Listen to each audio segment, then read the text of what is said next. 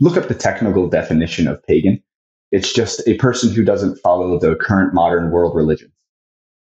Mm, That's interesting. It. It's a huge blanket term, huge. So the thing is, if if if you don't find yourself um, subscribing to the identity of those belief systems, you are technically, by definition, pagan. Here's a little bit of context for today's podcast. I got a chance to talk to David Christiansen all about Vikings. We talked about Norse paganism, paganism, and what it is in general, and so much more. The nature of reality, extraterrestrials.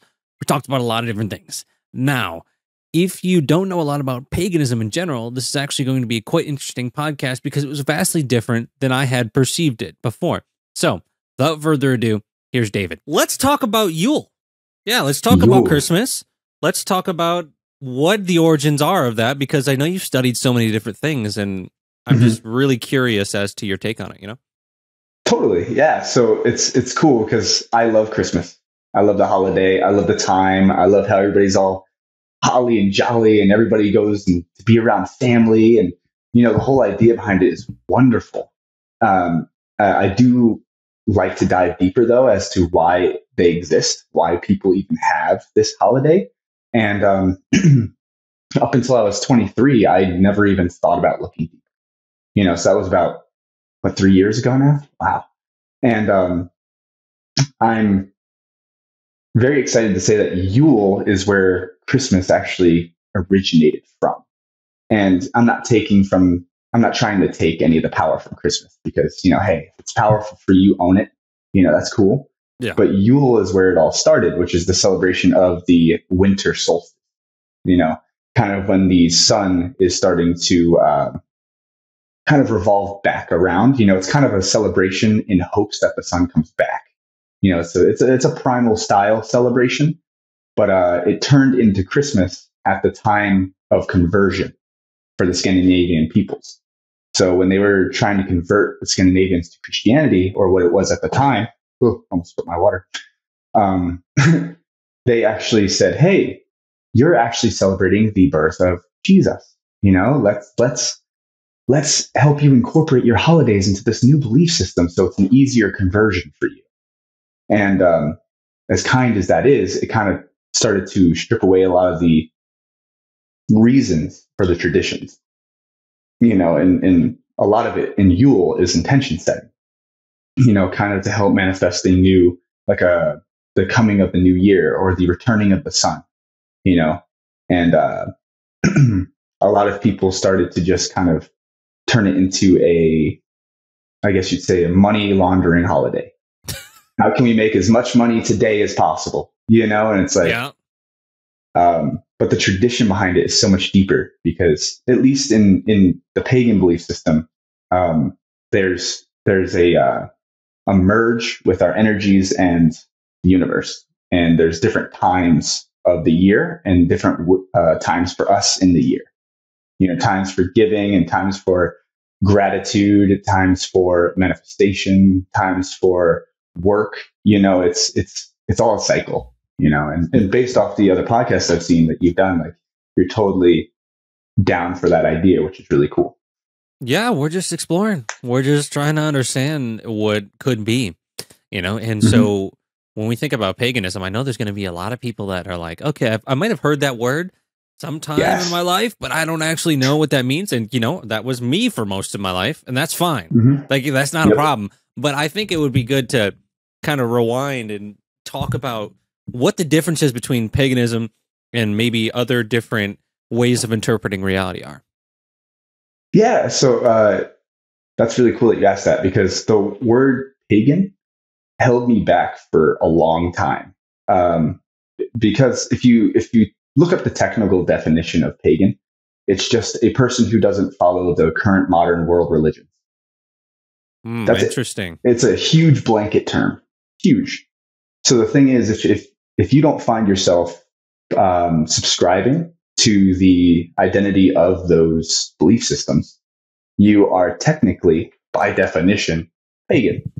Technically, you don't have to own that identity, but it, mm. that's, you know, and uh, I take on that identity personally because a lot of people have a lot of stigma against it. And I take that as an opportunity to help people learn. So technically, I'm pagan. Technically, you're pagan. Yes. Yes. Interesting. Yeah. Yeah. And if you're a truth seeker, which is what I call it, but I mean, there's different names for everything. Somebody who dives into a ton of different belief systems to find what works for them, you would technically be eclectic, which means that you don't subscribe to one, but you you you absorb many. You know, Mm. so you'd be an eclectic pagan, which is the identity I subscribe to uh, for identification reasons. Okay, so Yeah. in paganism, is there? So when you say basically, let me just run this back just to make sure I'm, my brain is getting this. So Yeah, yeah, yeah. basically, paganism is when you don't believe in a specific system of, or is that more towards like the mainstream beliefs, or maybe the more popular, or is yeah. So the the mainstream world religions. No, yeah, you were totally you were right on. Yeah, you were right on. But okay? it's the mainstream world religions. So I guess the biggest and easiest example would be like if you don't classify yourself as Christian, a Christian would call you pagan. Yeah. Wow. Okay, for some Yeah. reason I thought pagan was like nothing like that, and maybe that's just my own ignorance. You know? Same here. That's the thing is I completely thought the same thing. And that's why I, I fought the word for so long. And I usually used to think that paganism was like, and I grew up Christian, so I, I had this ideology behind it, but it's like, I thought it was literally like Satan. Like, oh man, that's the devil. Anything pagan is the devil, which means in Christianity, which means anything not Christian. Isn't that wild? Isn't that wild to just think about that anything that's not a part of your system is the the devil or complete evil? I mean, just think about that because what are cults made of? What? That sounds real culty. I'm, I'm I'm just saying it. I'm not ragging on anything in terms of you know believe what you want, but it's just Yeah, like yeah. you got to take a step back and think about that. Like like if you if the way that you look at the world is like anything else outside of that is considered evil without ever you know cognitively intellectually just even considering it, that's kind Mhm. of a scary place to be in because that's how you get uh, manipulated. I feel like, and we've seen that with many different cult leaders. You know. Yes, and hundred percent. Uh, the the funny thing is too is I always tell people this. I say, if what you believe is so true, then it will stand up to question. Facts. It will. It'll stand up to it. So the thing is, like, if you if you are refusing to to even acknowledge other belief systems or other ways of thinking because of the fact that you just believe it's the devil, now now you're turning down uh, questions. You know, and, and, and the, the the question I always have it whenever I'd ask questions, they just say have faith, and it's like it's faith is a part of life, but the thing is that doesn't answer my question. You know, and and a lot of times, at least in my pagan path, again for just using the blanket term, I found a lot of things that you know, in I don't know if you've had this feeling, but in Christianity, I've always wanted to feel truth. And, and the thing is, like, I always felt like I was reaching for something, you know. And then when I You dived into, yeah, I have no no clue. You know, I always felt like it was just too far away. And then, um, I don't know if you've ever read the book The Untethered Soul by Michael A. Singer. hmm First chapter opened my eyes, literally. so, um, after reading that book personally, that was my definitive moment where I switched. Literally, it was a I was digging a hole in my old job. I used to dig pools uh, for a contractor, a labor worker, and literally, I, I can tell you, I almost fell down when I when I listened to the first chapter of that book. It changed my entire life, and from then, I've been living my dream life. You know, I always recommend the, the book, but anyways, going down that road just really showed me that what the feeling of truth can feel like. You know, that's kind of where I was going with that. The So feeling of truth it, kind what of does it feel you. like to you? Um, so for lack of a better term, a lot of people have stigma on this line right here, but I'm going to say it because it means it, it feels like it to me. It's kind of like the wake up. You know, the first time you open your eyes after being asleep for so long. That's that's the feeling I had to where it's almost like the world looked different. It feels different now. Everything I thought I knew is just gone. And it's like, wow, you can't question that feeling because you feel like you know it. You know, if that makes sense. If that makes sense. Yeah. So continuing on with that thought, what do you think that the definition of truth is? Mm. You know, if I'm being 100% honest, I haven't thought into that too hard. Mm-hmm. So I don't know if I could give a definitive answer. Um, okay, because there's people that believe that you have your own truth, and then there's people that believe there's the truth, and then there's your own truth. You know, and it's it's just a thought process I haven't dove deep into yet. I got you. Because it's like, yeah. what are we feeling when we say we're feeling truth? To me, yeah. it's like this process of closer to unity. I like the way that uh, for mm. for today. Let's talk about Dr. David Hawkins and his work with the levels of consciousness. Mm-hmm. He he defined truth as life giving and falsehood as life taking. And like and so when we think about truth, then in the end, we've got to maybe play around with this thought process of what is morality and ethics and how does that have to do with truth? Um, because yeah. if truth in itself is just life giving, where's the place for the Batman? yeah, right. I like that. I like I, that. I like that. Yeah. Sometimes you know we have to think about progression of society and also truth and where do like i think it's good for this conversation to talk about the different belief systems and that you know what is true yes. uh, because a lot of times when people think what is truth it's what is correct and i think that also can apply to it but when we think about correctness when i'm saying truth in in the context of dr hawkins it's more it's more based on the emotions uh, yes. the truth and emotions. And if it's life giving, then it's truth. If it's life taking, then it's not. But when we talk about overall truth, then we're talking about I in my kind of contemplations because you know in all these podcasts so many times the concept of truth is something that absolutely is a staple and i've heard a lot of different perspectives on it and i think it's also interesting to think about well for me, having like you, I was in Christianity. Yeah. Left that and uh, just started to explore what could be and all these different systems from Buddhism to Hinduism and uh, yeah. now paganism. Let's go. But paganism, right, right. but paganism really isn't even. It's not a really system. a thing. It's yeah. a blanket. Yeah, it's a blanket.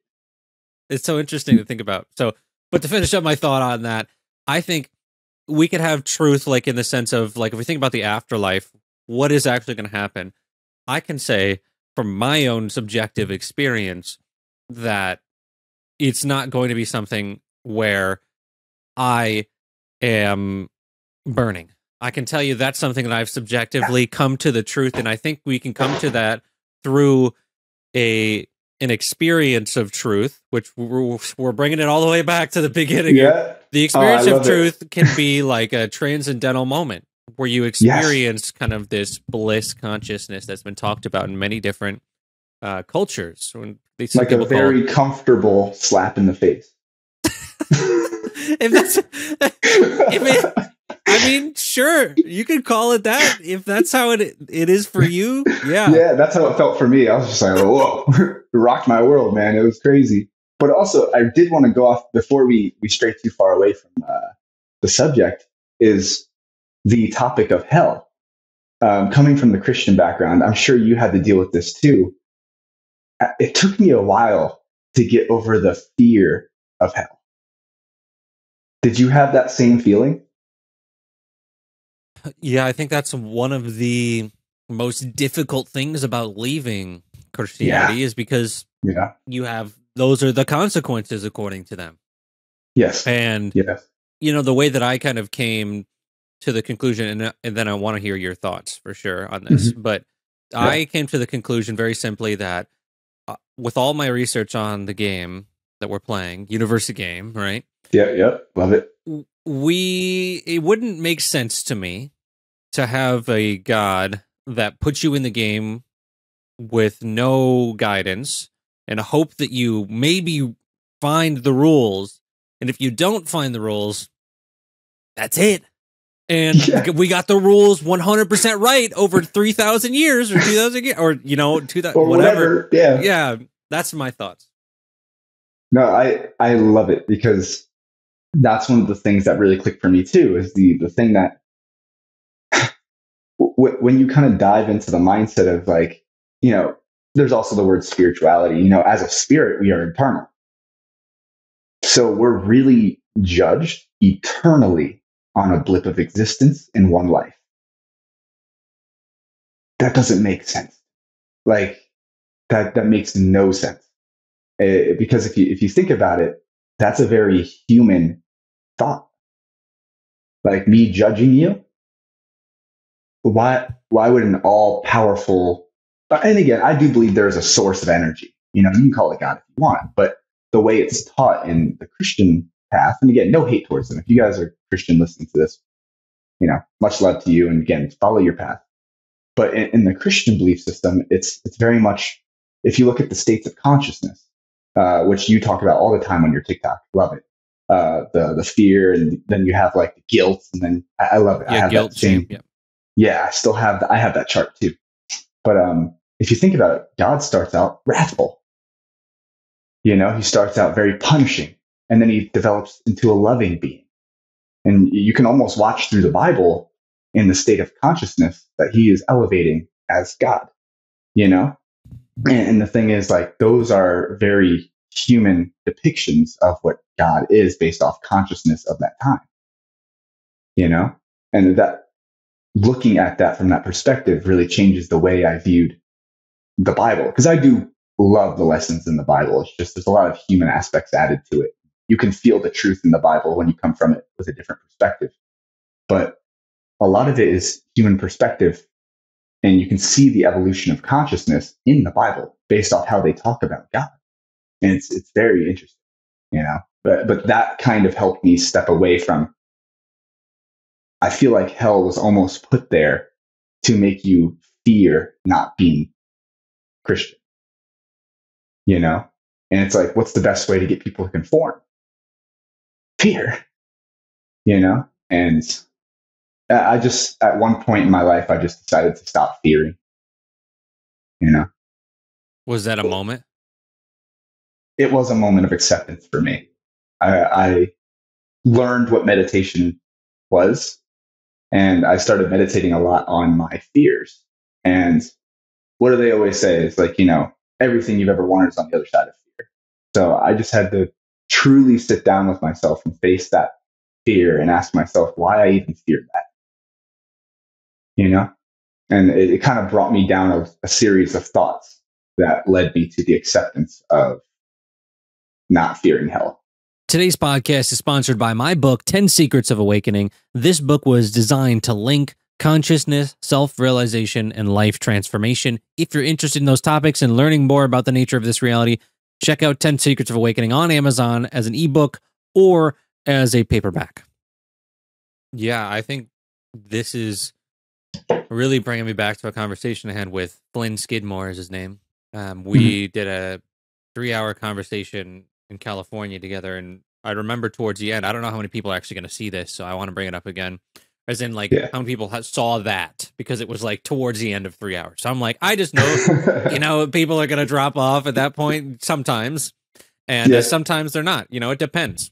I uh, actually tend to listen. I feel like the longer the podcast, the more people just kind of let go and just start being themselves. That's why I like doing them. You know, I for in person ones, I usually go longer because you know it's it's more cohesive in person and all that. Of That's course, what I find. And, and, you know, Yeah. just any conversation with anyone in person is usually better, anyways. You know. Yep, So, um, yep. But when I was talking to Flynn, he was talking to me about Jordan Peterson, and we did like a psychological breakdown of love Jordan Jordan. Peterson, and yeah, we were talking about the Bible and and these same concepts and he he brought up a good point to me. He's like when I look at beliefs, I look at what is the utility or value of the belief. And what is the experience that the person is having that they believe? Or what is the experience mm. that the person is having that that believes that? What is, what experience is that giving them to believe that? Like is it an, mm. is it an experience of like happiness? Is it joy? Is it an experience of peace? And and he started talking to me about how jordan peterson doesn't look like he's having fun. He's and I'm like, always crying. Right and i'm like it's like that's a that's interesting to think about. It's like mm-hmm he believes in his mind, and you from your reaction, it looks like you know Jordan Peterson or you've heard of him. You know, yeah. watch him. So it's like we don't want to be because there's two roads here to me, two major roads. It's like maybe he's right, and he's and this is psychologically what he's thinking. And in my reflection of him, mm-hmm. he's looking at the world and he's looking at the Bible and he sees that as truth even though it's somber or it's sad or it's fearful, he think he really believes that it's right. So then, therefore, he's going to relay that because in his mind, he's like, "Well, I have a duty if it's the truth." And yep. so, I think that a lot of the times when you have people that are in that space, I've found that they have not actually explored. Maybe he has, but I I've from my I've watched a decent amount of his stuff, and I've never heard him talk about any other ways of looking at the world and and this type of thing. And so I think it's we don't want to ignore it something that's a harsh truth because then we live in ignorance, and then maybe it would still happen. But I think if yeah. we come to this to the conclusion as you have, and I have after studying many different traditions, you know, I saw you were at a Buddhist temple, and yeah, yeah, uh, that was great. Right. And so I want to talk about that. But to finish up on that thought, it's like we have come to the conclusion after having an experience with many things. And if we can look at everything and say, you know what, this is the truth, then I respect it. If Jordan Peterson has looked at everything and be like, okay, this is what I believe it is. Okay, fair enough. But it's the problem I have is sometimes when people just are raised in a system and they haven't looked at mm-hmm. mm-hmm. other places because if you were born in India, man, Hinduism, you're gonna really, really, yep. that's gonna be your thing. It's gonna be really dependent on where you are. You know? Yeah. Yeah, that's so. that's very true. That's very true. And admittedly, um, Jordan Peterson, in the influence he's had in my life, has been clips on TikTok. Being 100 percent honest. So when his clips come up, usually it's snippets of like his powerful statements. And um, I have seen some things I agree with, but I also did see recently that he he is very biblically inclined. Wrong word. He's got right? a lot of religious fundamentalism in there. Yes, yes, yes. I have been seeing that a lot recently as well, and he does ha- feel that duty to do this because he fears not doing it. You know, so is he acting out of fear? Because if so, we based off levels of consciousness and and that whole view we have on things, what message is he really putting out there? You know, and I haven't thought about it like that until you just explained it, which is really I appreciate that because I'm gonna come I'm gonna come across it in a in a different light. Yeah, you so. just you just kind of see how it feels when you're watching him. You know, Dr. Hawkins' work, we're talking about levels. He mm-hmm. the the basic premise is that the calibrations are based on the your body's ability your body's ability. This is important to this concept. Yeah. it's not just like oh he thought maybe this was these were the levels. He calibrated it using divi- this is what he says. I'm not saying this is completely you know absolute truth but this is the system that i've really resonated with for many years. Yeah. You you calibrate it based on you, your body's ability to stay strong in the presence of truth. Like you hold your arm out and it's called kinesiology muscle testing so yeah. that's how he kind of calibrated the levels. And so when we're talking about fear, your body goes weak in the presence of it. So it's that's because it's below 200 on the levels. So if you're watching someone like uh, let's say Jordan Peterson, for example, he might have a lot of statements that are in fear because that's what a lot of religious fundamentalism is. It's in fear. Yes. And yep. also in the Bible, it does say fear is the beginning of wisdom or fe- yeah, fear of the Lord like is that. the beginning of wisdom, or something very mm-hmm. yeah, very similar. It's along those lines. Yeah. and so that can be helpful to again to, to kind of boost up the Bible. You know, there is some benefit to that. Somebody who doesn't have any morals, you know, if someone is completely mm. morally bankrupt and they're in shame and they just are often people, if they have fear that they might burn for doing that, that can be helpful. Yeah, at know? least they're raising it a little bit, you know? It's, exactly.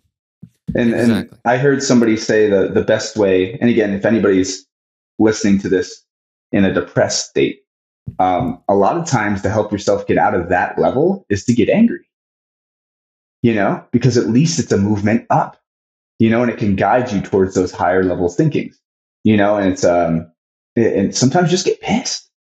What? Oh man, dude, I think of myself this way. I'm pissed off about that. What that, you know, get mad. And at least you're raising your vibration. And that's just one, that's just taking the first step. Because everybody thinks like, oh, I need to go from here to here. And it's like, that would be great. That'd be awesome. But steps are way more attainable. You know? Yeah, you're like pissed, you're depressed. You're like, I deserve better than to be depressed. And you get pissed Bam. off about that, you know? And it can yep. be extremely helpful because if you're just feeling sorry for yourself, it's like, well, what is the utility or value in that for you? It's yeah. like, what is that going to get you? What is the experience of perceiving life that way benefiting you in some way? Because exactly. it doesn't seem like it is because there's no mm-hmm. value in that. And if you are to take the other perspective of, you know what, I'm pissed because I deserve better because I know that I am worthy of more than this, and I know that mm-hmm. I am yes. uh, capable of creating the life that I prefer, let's say, for example, then if you're angry about it, that's going to be the level where you start to take action because anger has enough energy to take action. When you're in shame or guilt, you literally don't have any energy because it's at the bottom of the levels, according to Dr. Hawkins, you know? So yep. getting angry, I 100% am with you on that. Yeah. And, and really quick, it, uh, a thought sparked in my head when you said that, when you were started speaking those I am affirmations. And, and, and the cool thing is, what I like to say out here is, especially coming from a, a Bible background, a lot of people forget about the time when Moses was born. It was Moses talking to the burning bush. You know, he said, I am that I am. People are curious, what does that mean? Well, when you say I am, what does that mean? I am. Why is that powerful? And the, the, the person he was speaking to was I am. So that statement right there is the power of the Godhead, whatever you want to call that source. You know, so it's, it's really cool. When you say I am, you're instilling the power of source you know, and, and uh, you could really take that power from the Christian perspective, you know, speak with I am, because even if you're Christian, you believe that, you know, and it's like, you don't have to believe the way I do, but even, you know, God said in the Bible, I am that I am.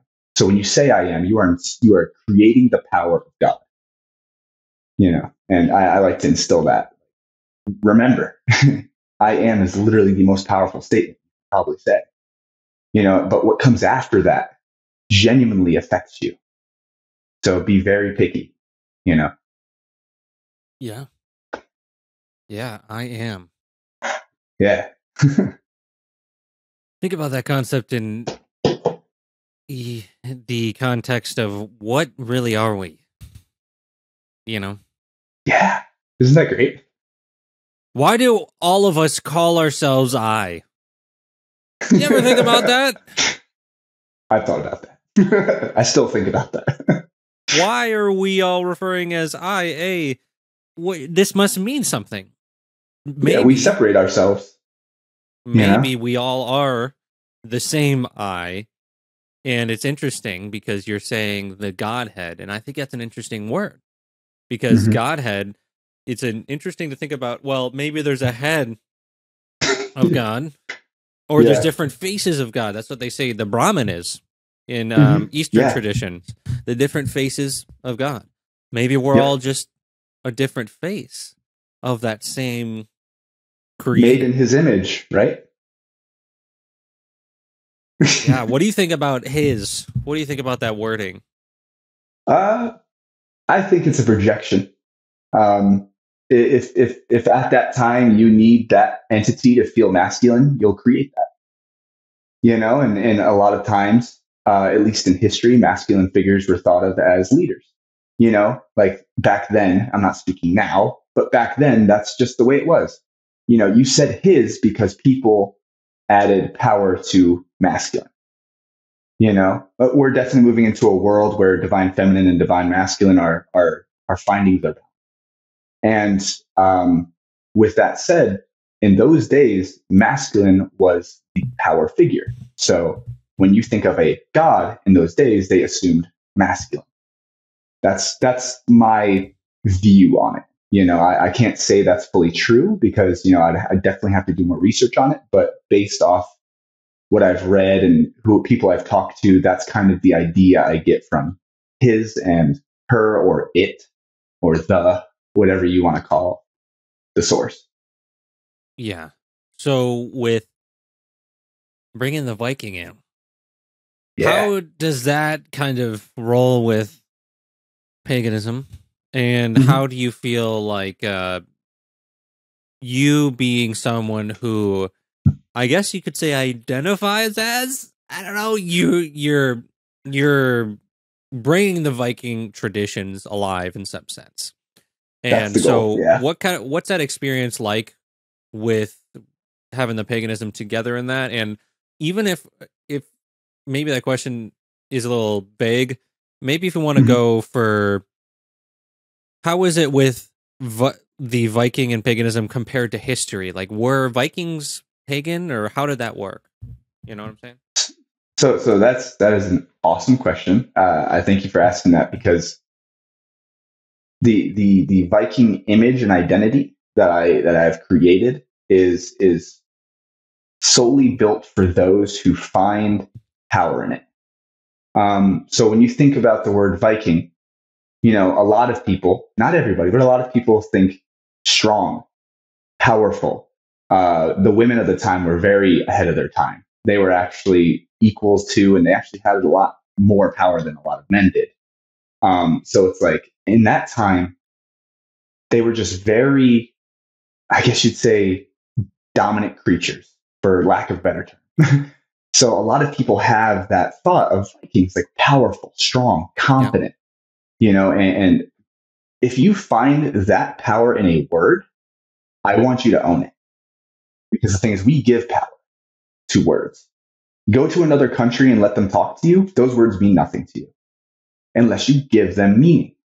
So if people have given Viking this powerful meaning or the Norse gods this powerful image, um, I, I fully believe that to move yourself forward, you should own that strength. You know, uh, a lot of people are trying to be a thing. A lot of people are trying to be. They're trying to be. And one thing I've been studying myself recently is being instead of trying you know, because a lot of us are reaching for something, but the more you, I guess, the more you resist, the more it persists. So the thing is, the more you reach, the more it pushes itself away. So instead, accept. And, and the reason I take on the Viking identity is um, kind of to guide those people who need to find power in it. You know, there's a, excuse me, there's a lot of um, attacks. And again, I, I'm not talking about a whole. This is the experience I've seen on my end. It could be different for other people, but I've been seeing a lot of attacks on masculinity. Um, and, and, again, I think it needs to be attacked in a way so that it can find its balance. But it's there's a lot of people who take it and become victims, and owning the victim identity is way worse than owning the Viking identity. You know, again, it's, it's the way I quote it is because the technical definition, you can't be one you know, and I know that people hate me for it, but I'm not there for them. I'm there for the people who find the power in it. And, and my goal is to guide them towards, towards moving forward in their, in their development of their human experience. And if they find it in the Viking realm, I'll be the face that takes all the criticism because I can. I can. I know I can, but there's people out there who can't. So the thing is, if, if they're getting criticized, they're like, hey, but look at this person, he's doing it. And me with my platform, I, I realize I'm an influence. And like it took me a while to realize that because I was trying to. But now owning the identity that I am an influence, people are influenced by me. So I need to be sure that I know what I'm doing. You know, and I'm willing to take the, the front road and get smacked. if needed, so that you can find the power in the word Viking. And when it comes to the Norse gods, going into that realm, you know, very quickly is I'm not, it's technically called and not technically called Norse pagan. It's Norwegian paganism, you know, or Norse or Scandinavian paganism. Um, it's the belief in the old gods. And I, I would consider myself polytheistic because I believe what you give power to exists. So if those gods are real to you, they will be real to you because you've created them.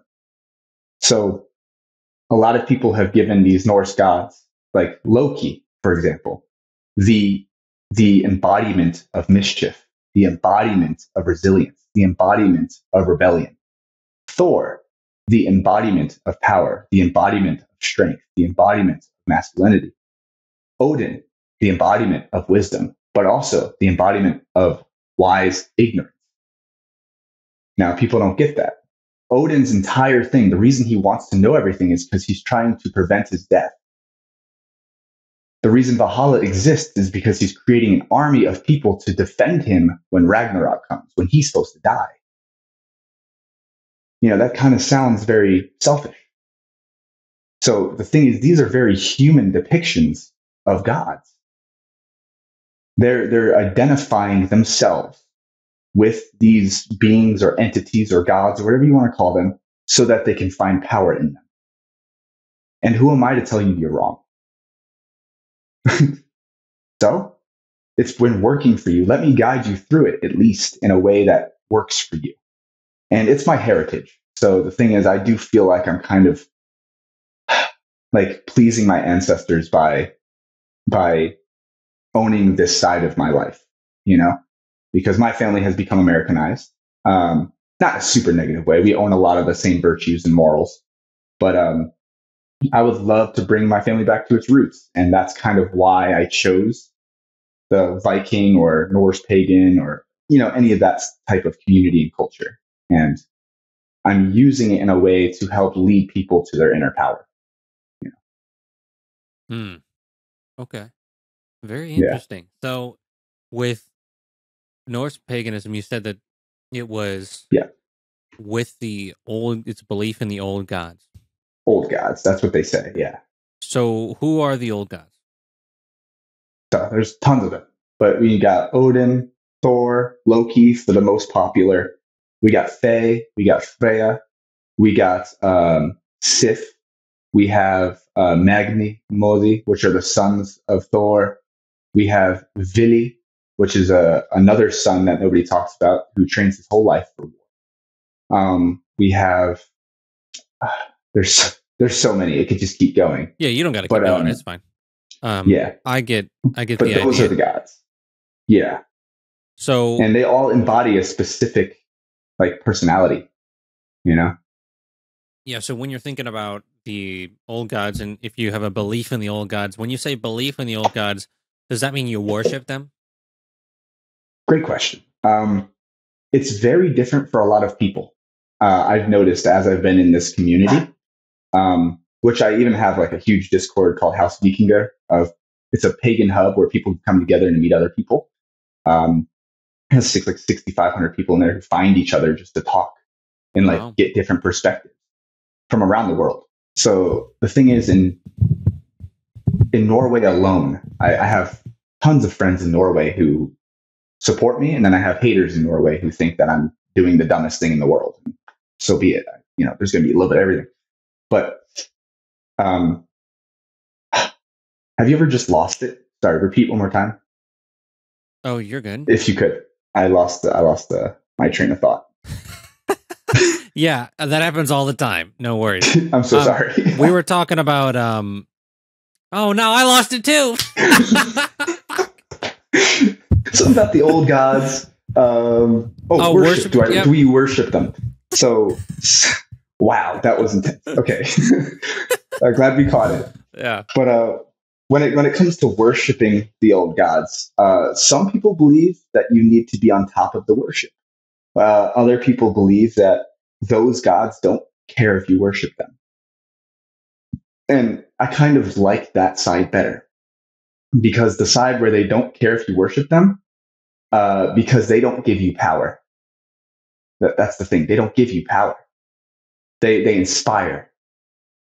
You know, and, and there's people who are like, when you ask for power from an outside source, I believe you are limiting yourself of your own power because you are the powerful being.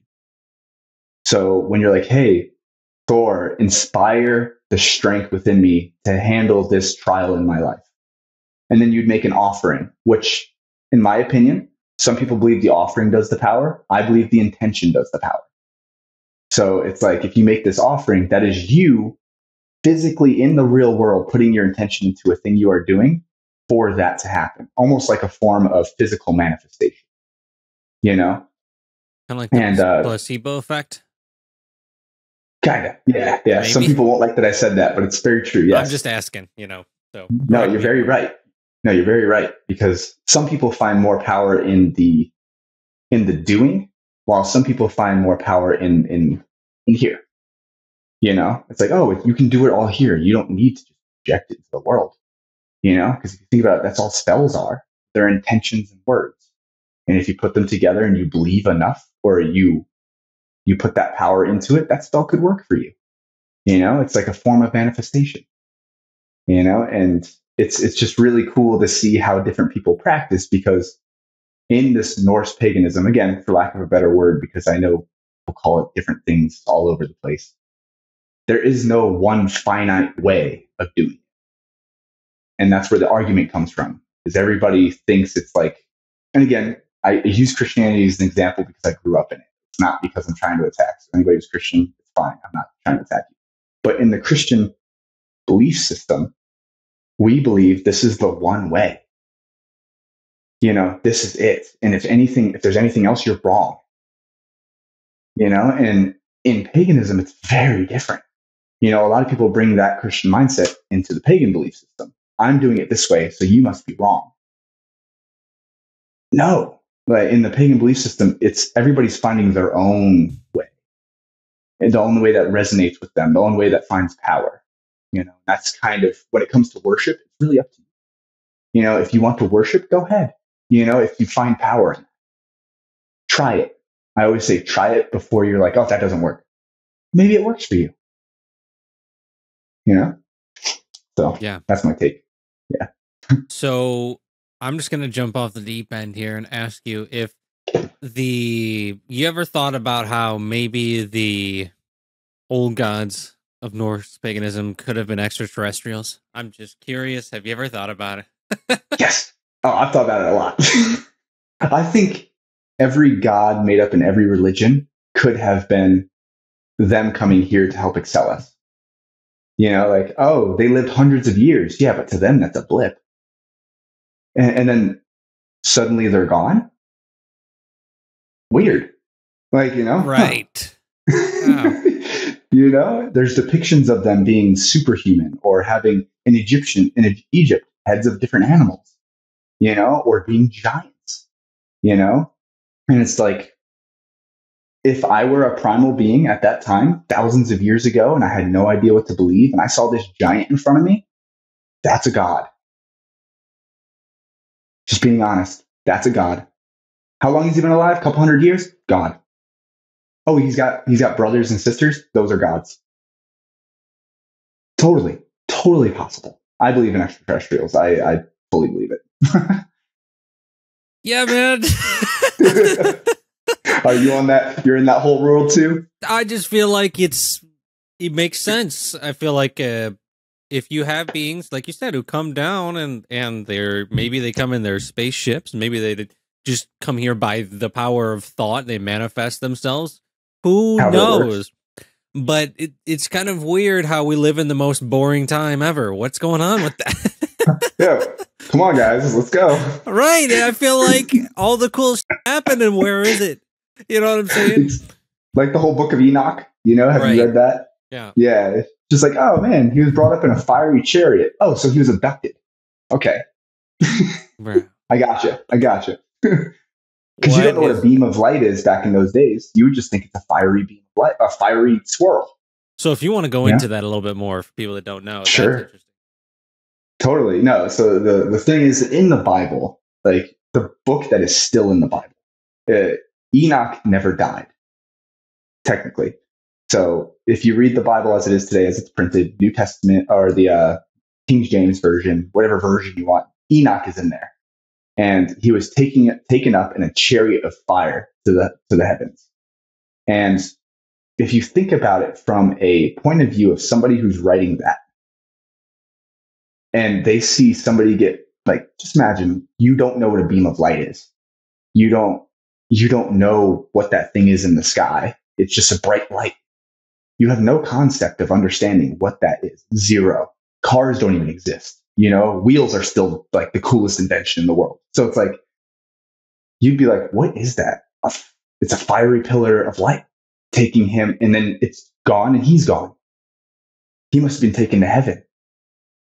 You know, and, and for those of you who haven't read the book of Enoch, definitely dive into that. it's big. But like just from that perspective alone should instill that little excitement of, hmm, just question it, think about it. Like that is very interesting, you know? And that's, I feel like that's a good introduction to it you know? Yeah. But what about you? What's your whole view on that thing, on, on the whole Enoch uh, perspective? Have you gone down that road? Yeah, man, I feel like it's a spaceship. Dude was cool. You're like, I'm right there. I'm right there with you. Yep. Yeah, spaceship. it's it's just like if you're you're you describe that so perfectly because if you're just a, a guy who's never seen anything, never seen airplanes, you've never seen uh you know anything flying in the sky, and it's like okay, well Chariot of Fire. Hey, sounds about mm-hmm. right, probably. Um, you know, if things were to disappear and you never saw them again, you would think anything that has to do with that would be heaven. You know, no yep. matter where it went. And yeah, that's your only concept. you exactly. Know? Yeah, and I was watching. You know Gaia. I know you know mm-hmm. Gaia. Okay, so I was watching Gaia the other day, and it. Uh, what the bleep do we know? Have you seen that? I have, yeah. So they're talking about when when the uh, when Columbus was coming over and the Indians didn't even see their ships they, because they had no concept of what those giant ships would even be.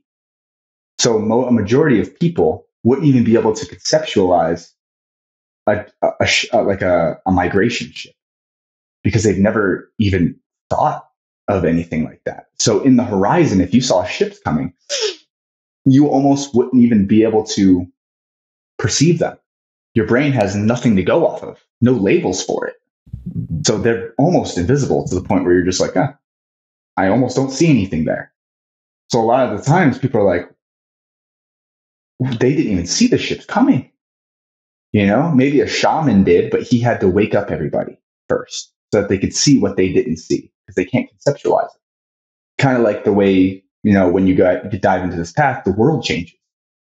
You see things you've never seen before. You notice things you didn't even know were there. And you're like, whoa, this has been here the whole time.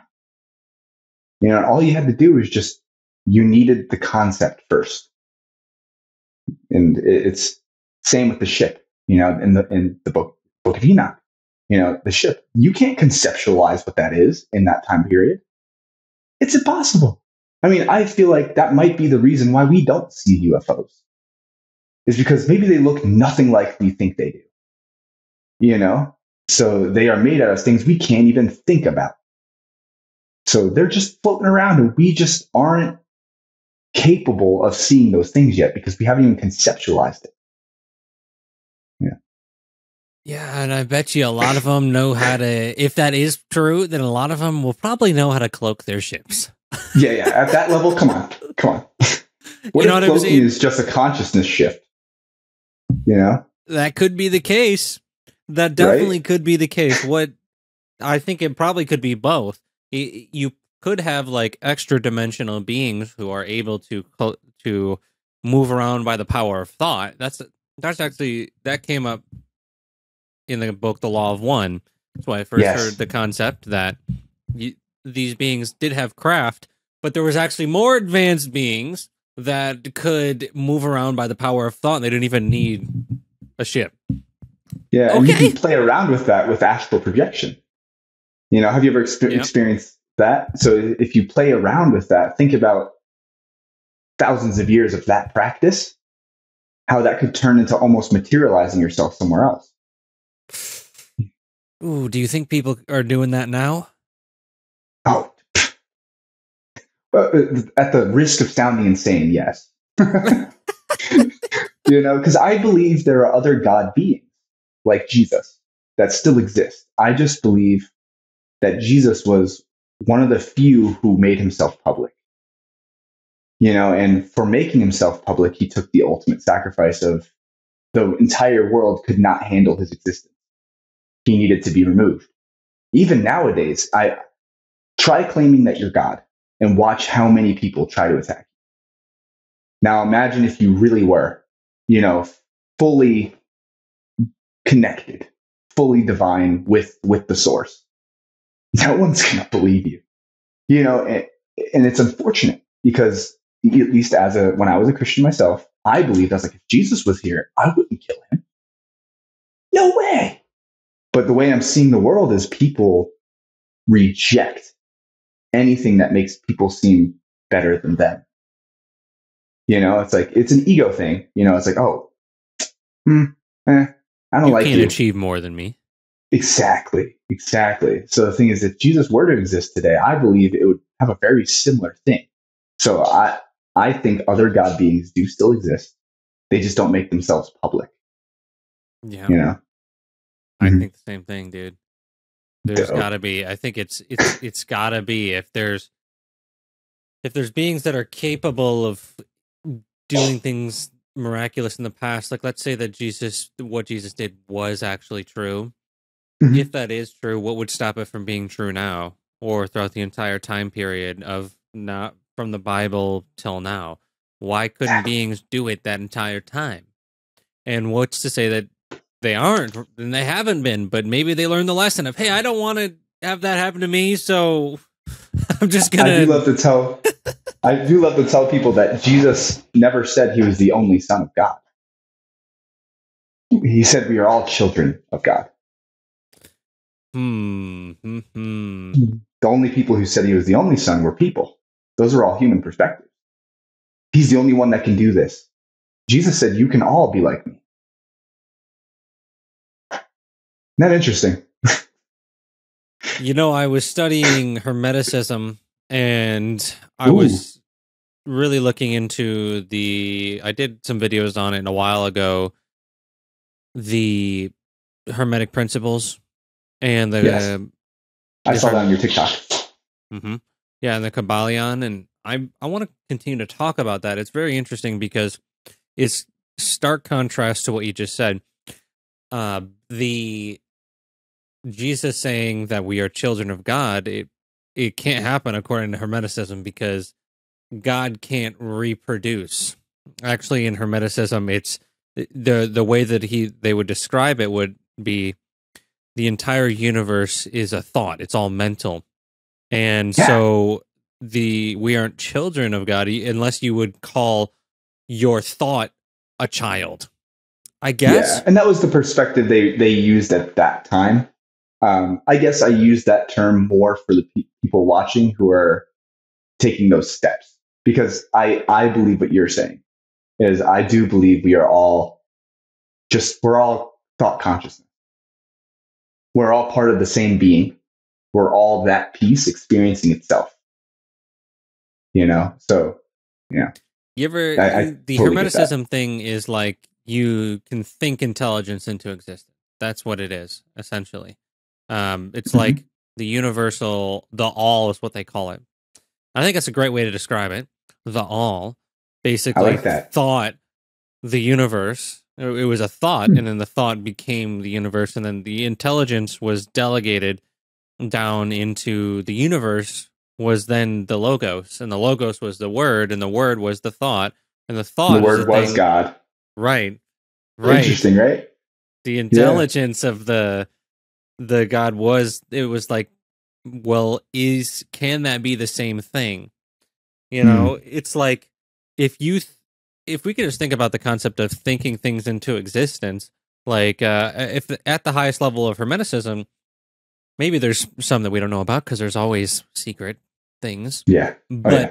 from what we have of it then the universe is that if it if God, let's say, or the all thought the universe into existence, well then what does that make the universe? Is that is that real? Is it not real? Is it is it God? Is it not God?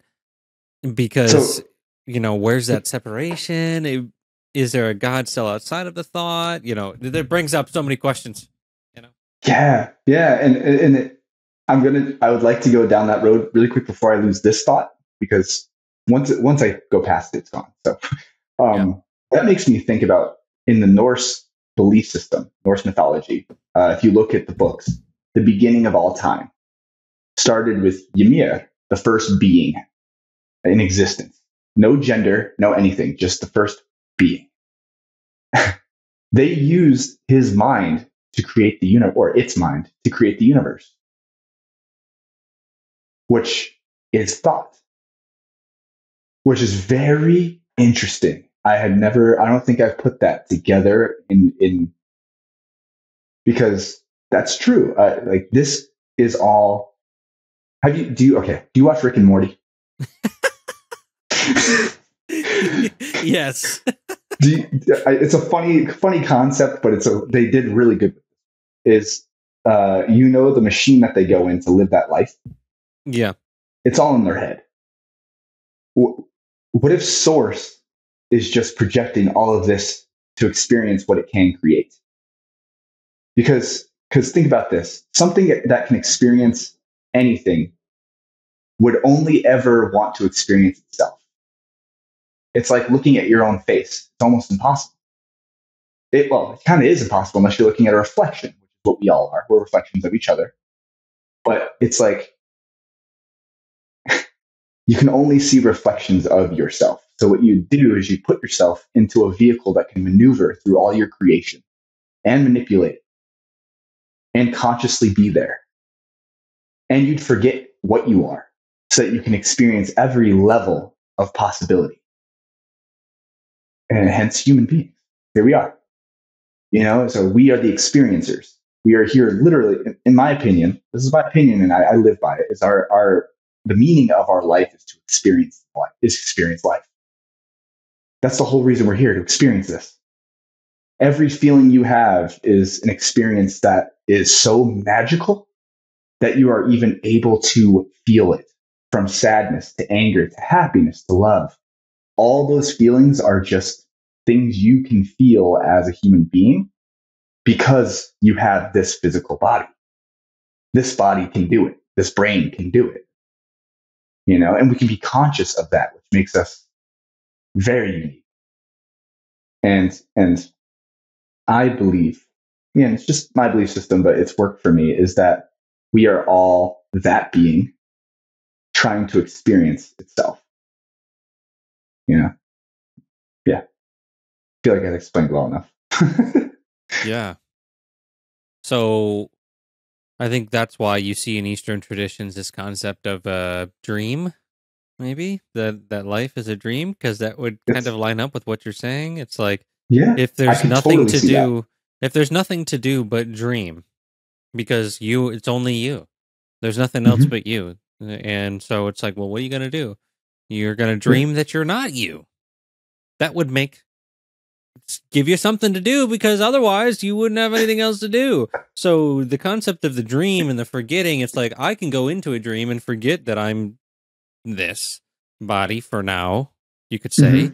I forget about this existence on this planet and I go into a dream and it's like a whole different world. Well, what if we're in a dream within a dream? Well, what? Wait, where does simulation theory fit into this then? Hmm. Well, maybe Yeah. a simulation kind of is a dream. What if those concepts aren't too far away from each other? What if a video Mhm. game is kind of the concept of a dream or a simulation, yep but you're you're not forgetting. That's the only difference there. So what Yep. if you were able to go into a game and forget just like a dream? Hey, maybe that's the way that in modern day we can understand this reality, you know? even even elon even elon says that's possible you know like because it's it's true think about it if like you've lucid dreamed before now imagine being a thousand two thousand three thousand a million years in the future and being really good at that like humans have evolved to the point where we, our mind is where we can create anything. And you're like, man, I no longer crave anything in this reality. I am now without desire. You know, if that makes sense. And, and the thing is, you'd be like, let's just see what it would be like to have another life. Here we are. Possible. Very possible. You know, because, because the thing is, we already play around with it. We already play around with it. People practice lucid dreaming. People practice uh, astral projection. And the thing is, that's exactly what it is a practice. Practicing for what? Improvement. So the thing is, if we can improve over the course of generations by practicing this, there's no limit to what we could do with our minds. Yeah, that's what I heard Gregg Braden say that this world is kind of a uh, it's a w- way to practice for something greater. Maybe there's a Mm-hmm. more really interesting to think about. Well, what else could there be? It's like you're training for something. Well, what could that be? Maybe you know that has some tangible value in the realm. Maybe the way that we experience here has some tangible value in the where we come from, and then you know what could that be? Maybe it's uh just like Roy, man. I'm just living as Roy. we are all Roy. Right. he is grandpa. That's it's just they nailed that concept. yep. He's Like- like, it's not a religion, it's the truth. He's like, you guys are just making this into a religion. It's like, is that not a whole thing? Like, whoa. People make religions out of the truth.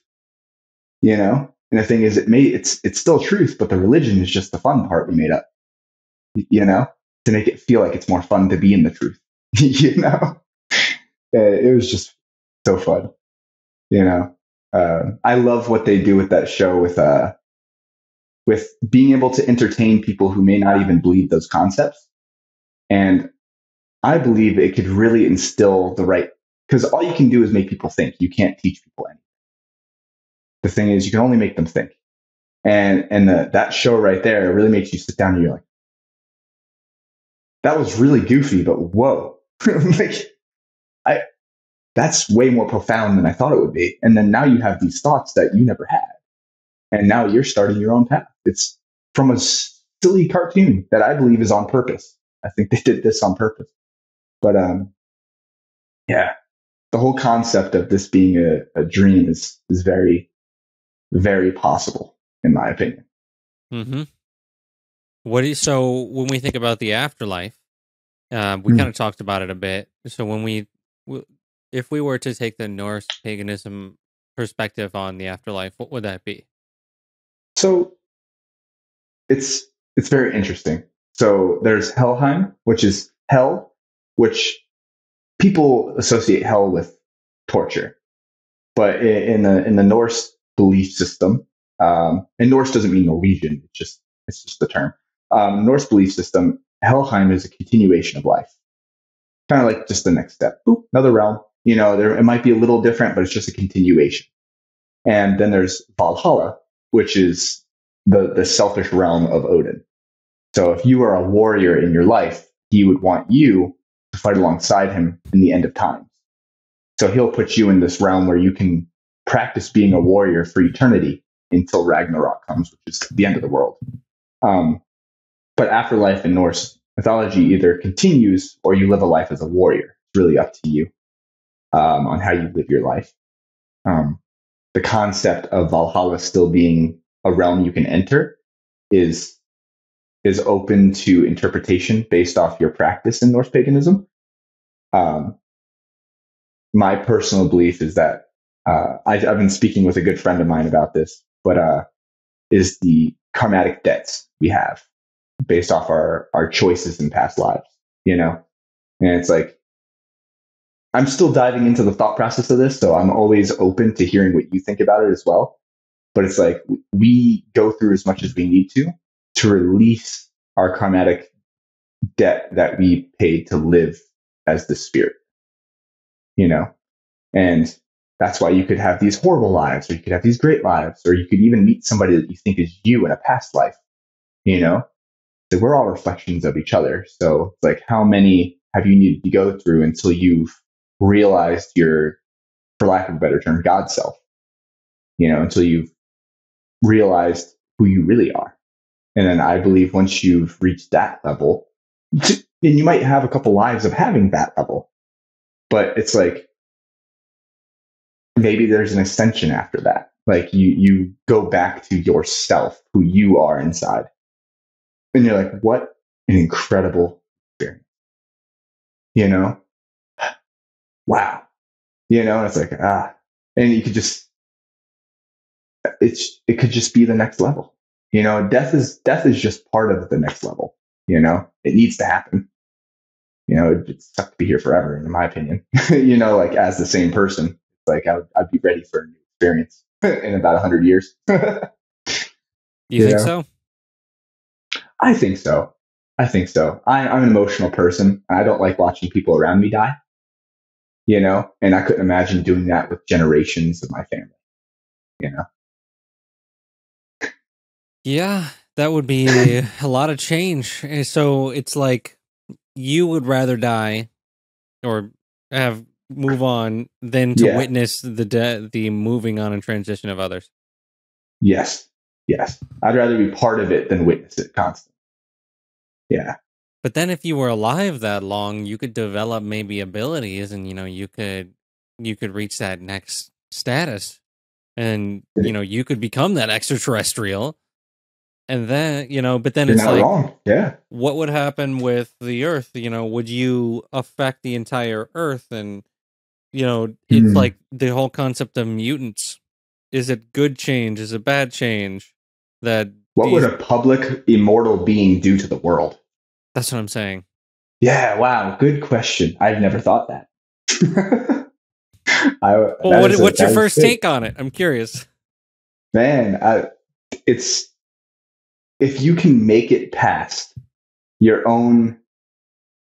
I, I guess if you could learn first how to navigate your emotions, um, the possibilities could be endless. I never, I never even thought of that because, man, like people, I feel like people would listen to an, immortal, like a god.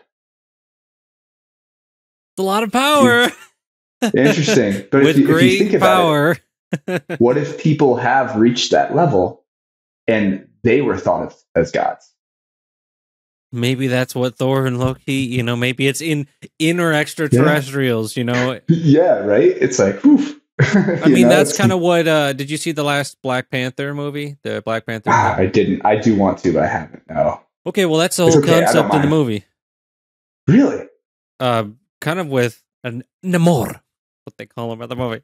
Uh, but the concept of Namor, it's like the same it's the same concept as mutants, but uh, I mean, I guess spoiler alert. Uh, yeah. So Namor, Namor, whoever you want to call it, that mm-hmm. he he basically his mom takes a plant that's underwater that makes him he's like born a mutant and he has mm-hmm. wings on his feet and he's basically like superhuman. Yeah. So, I've seen who that is. Yeah, so that's like like one level, and we're talking like completely immortal. But yeah, but what we're saying is like even what what effect would beings that had powers? You know, it seems like why is it that we're so obsessed with Marvel? Marvel is, and you know, not just Marvel, but all superhero things. It's like, You're right? Is that I've always thought, man, that could be the evolution of humanity. Maybe that's something that will happen at some point. Maybe it you know, maybe it's a very close parallel universe that has these that's like we're kind of connected to. Maybe it's a Mandela effect, you know? Yeah. I don't know. It's interesting. Is, is the only thing stopping us the fact that we think we can't? Oh, the power of belief. The or or the power of knowing. Because you can't believe and know. So, so if there hmm. could reach a time where you knew something to be true about yourself, is it possible? You know, like if that if that makes sense, it's because because it's almost hard to grasp that idea of not like knowing over believing. Because because uh, there's this really cool old guy on TikTok, and every time he says it, it just hits me. But he says it, he's like, you can't know and and believe something. You can't know what you believe. You can't believe what you know. It's like you either know it or you believe it. You know, it's belief means you don't know. You have to believe. You don't need belief if you know. So if you know of your power, like you create a knowledge of it, like you know, doesn't make it real. But is knowing in itself a belief? Do can you think that you know something, but not actually? It, it, it actually isn't based in reality, so therefore it would be a belief. I guess that comes to the point of that feeling of truth. You know? Yeah. Like, what would the feeling of true knowing be like? You know? And it's the thing is, you wouldn't know until you knew. you know, it's it's it's one of those things. You know, you can't know until you know. I think a really good example of this is uh, NDEs, near death experiences, where people might have the experience of like, you can have two people that have NDEs that have complete opposite experiences, and they both say that they know that that's the truth because they experienced it. Yeah. Yeah. So that's what I'm kind of thinking. It's like, well, if that is that a belief or is that knowing, you know, they directly experienced it, they feel it as truth, but what Yeah. actually is the truth? You know? because some people experience Jesus, some people experience like light, some people experience it's it's completely ah man. That that leads to the whole point of maybe your belief creates what you believe you know. You know, because if they were a hardcore Christian or somebody who had a lot of resistance against Jesus or God or whatever, and that was on their mind when they were in that near death experience, they created that because you know it, it spikes a bunch of DMT in the mind when you die. DMT floods the brain. So if anything, you're having these extreme hallucinations based off where your mind is at at the time. Because you know, set and setting. If we're going down the whole psychedelic route, when we get there, set and setting. So if you, in that set and setting, if your mind is in a particular place when that DMT floods your mind, you're going to see what you create for yourself. And it's going to be so vivid and so real that you'll believe it's true. You know, because I've never experienced DMT yet, but I, I hear that you experience an entire, almost like an entire life in like 15 minutes. So imagine flooding the brain in that. You know, What has heard. been what has been your experiences with the old plants? Have you had any, or what's that Yes. been like? So, so when, when it comes to that, um, I've experienced uh, mushrooms and LSD. So, I'm a I'm an active microdoser. So, I, I microdose two to three times a week. Well, I use one sixth of a dose, but um, it keeps my mind open to to possibility. But um, my experience started a couple of years ago, and um, it's a big, it's an active part of my life because of the fact that it, cre- it creates new thought processes that my mind. Because my your your mind is hotwired to think the same way every day. Because you've built those neural pathways. And based off like scientific studies i'm not the best at quoting where they come from so i apologize. But based off the scientific studies that i've looked into what what at least lsd for the for example fires off many different directions and gives you different pathways to use.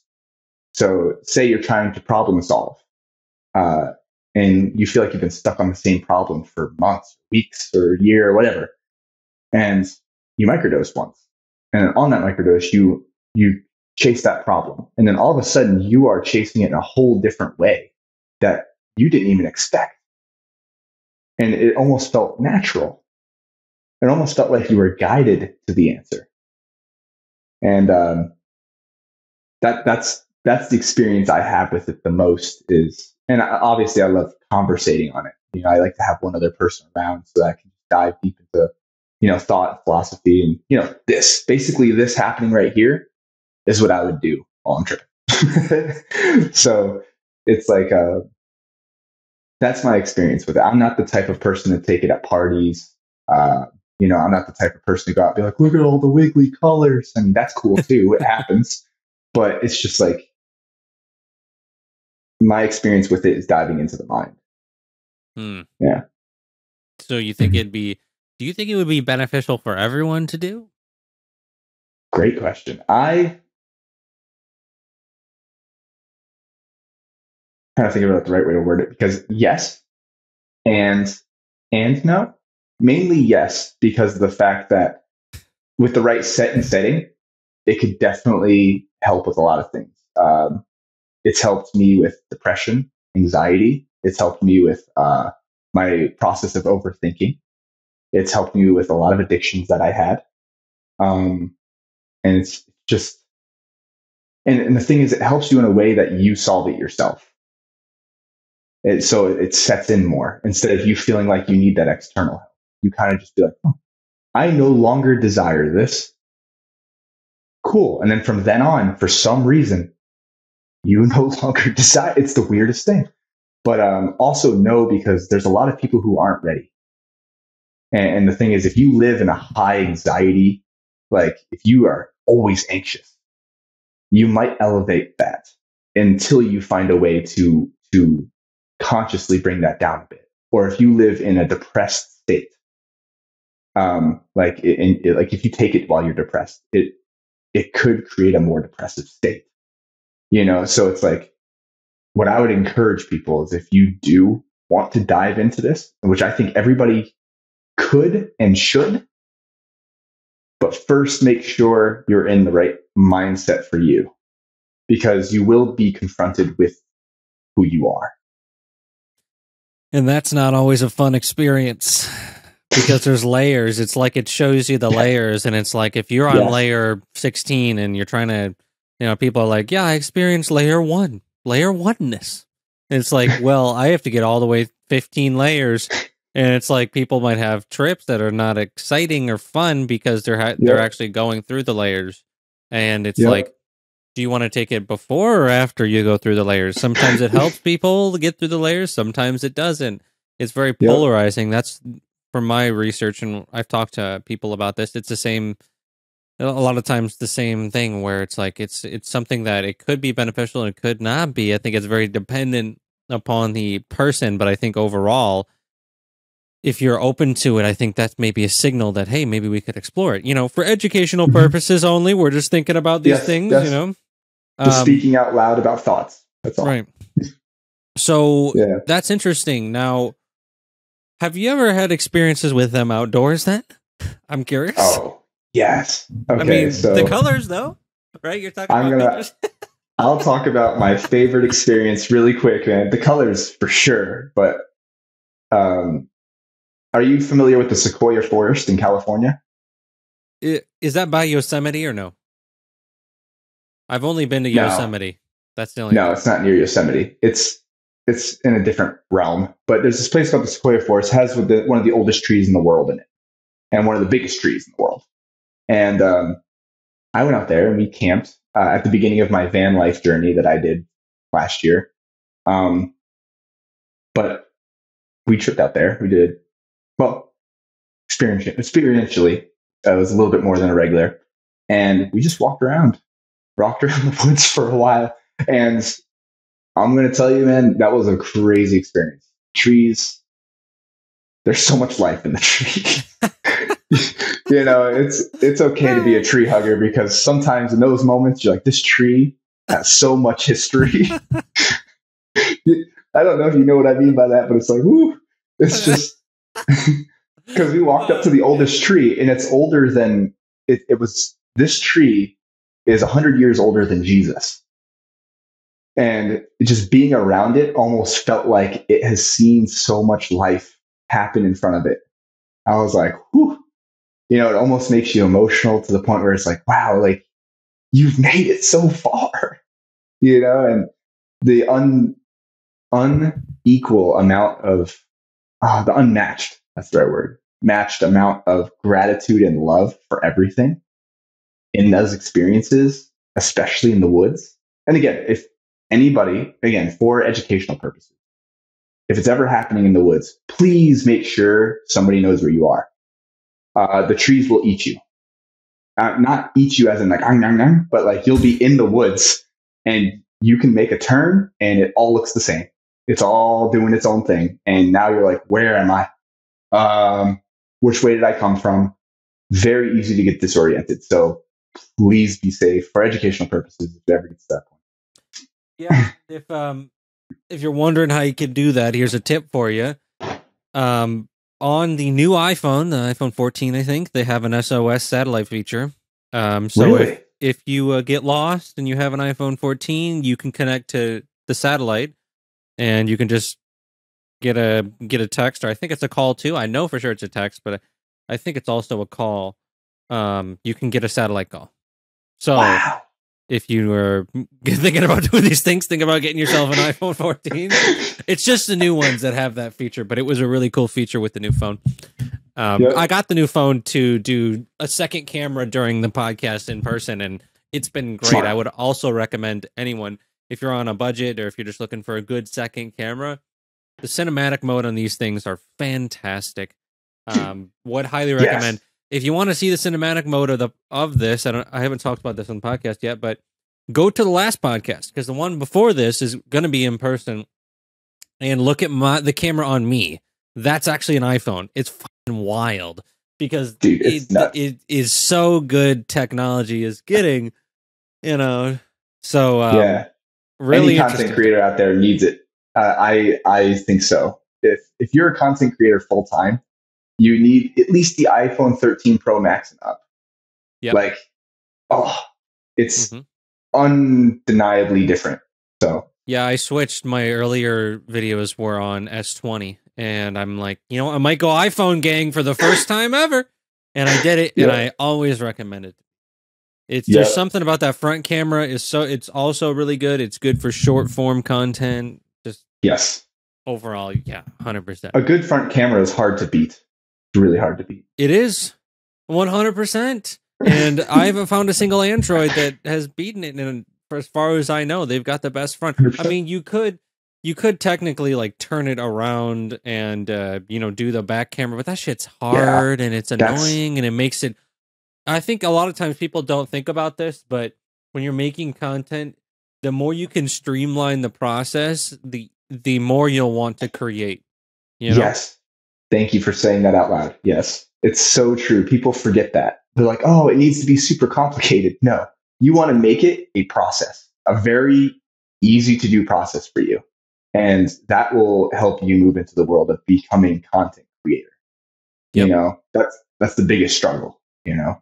Yep, like for me, I have this this is a Sony 6 6400 and it's really nice, but having the for the skits that I've been doing, I've been doing more skits recently and Love having the the workflow of airdropping from the iPhone. I bought myself a Mac just so I could airdrop and work with the iPhone cuz you know how iPhones it's so hard to get footage to a PC. It's ridiculous. It's so hard.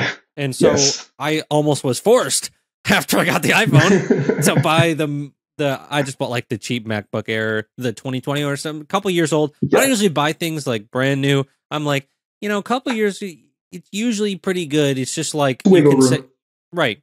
And um I try to make the resources work as much as I can. Uh, but with the with the workflow of just straight going from the iPhone to MacBook AirDrop, you can review it. It's super easy. Oh man, it makes me want to create much more. Because for a while there was like quality, quality, quality, but then I'm like, ah, dude, it's not all about quality. It's like Mhm. of the text, it's not Consistency. quality. It's quality of the it's quality of the video too. Like, what are you saying? And sometimes Yes. I don't know about you, but I can get frustrated with all the bullshit of making a video to the point where I'm not creative anymore. It's like I'm now I'm just annoyed as hell and I don't even want to make the video anymore. Hundred percent, one hundred percent. How long, know. if you don't mind me asking, I am curious, how long have you been a content creator? I've well, I mean, in 2015 I started my first YouTube channel about fitness. So technically, Me too. that's where I started. And then I then I live streamed video games for a year and did video game stuff for a while. And I've been playing video games since I was like 13. uh, like long, long time. And then Yeah. on top of that, then I stopped doing that. I think it was in oh, probably like three years. I started to do Instagram, but it wasn't until I, well, I started on YouTube technically, but then I realized I wasn't getting sh- nothing was happening, and I was Hard. posting a lot of videos, and there wasn't really that much of a, you know, it wasn't getting promoted, and I was probably kind of trash at videos at the beginning, like most people. So it's fine, I get it. Mhm. Then I switched to Instagram, and I then I was like, oh, I got a thousand followers in the first year on Instagram and YouTube, and I'm like, all right, TikTok seems to be the thing. Let me Oh, get dude. on there, even though I didn't want to, because it seemed like it was for kids, and I had a, a mentor that was Okay. like, uh, Yep. Ash of Matt Nash, and she was like, "Yeah, you need to get on here." And I'm like, "Wait, you guys are making how much money doing this? And not only about the money, but you're reaching so many people. Holy Mhm. crap!" It was because they they had their book and they were just doing their book on top of like, and that is a perfect strategy for TikTok in terms of strategy because people don't have to know you directly to buy your book, but if you if they just maybe if they see a video and they see the video with you and they're like oh you've got a book. Okay great. I'll buy it. But Rapport, rapport. right but if somebody wants to buy a course a lot of times you know they have to know you a little bit more. Yeah. so i think that that was that the the the strategy of like well instagram's not working. This is what like it was this is what it was for me. Instagram's not working. Youtube's really not working. I know my content is getting good. Let's just try and reach it. And then in the first month i got a hundred thousand just like immediately. And then i actually was like i started to realize that tiktok seemed to be its own kind of biosphere and it, Yeah, it was like you could get completely TikTok millions and people have no idea who you are for the most part anywhere else. yes, You know? yes. And so Oh, then I started to move and I was like pretty early on. I would say uh, within the first 2 months I was like I just want to get people over to Instagram and YouTube. So then I kind of just started to use that as a kind of springboard and it and it worked. At that point at that time period people were just following me on Instagram and they were coming over and then you know I guess we're doing a whole epilogue on social media now but uh I noticed that the Instagram algorithm started to change. A lot of people didn't like that because they were like, "Oh, we want photos," but it was perfect for me as a video creator Perfect. because yes. it worked, and I was like, "Okay, I'm just gonna go all in on Instagram," and then I did that, and then I was like, "I really love the podcast. I'm just gonna continually do this, and I'm gonna put a shit ton of resources in that, and and then here we Here are." you are.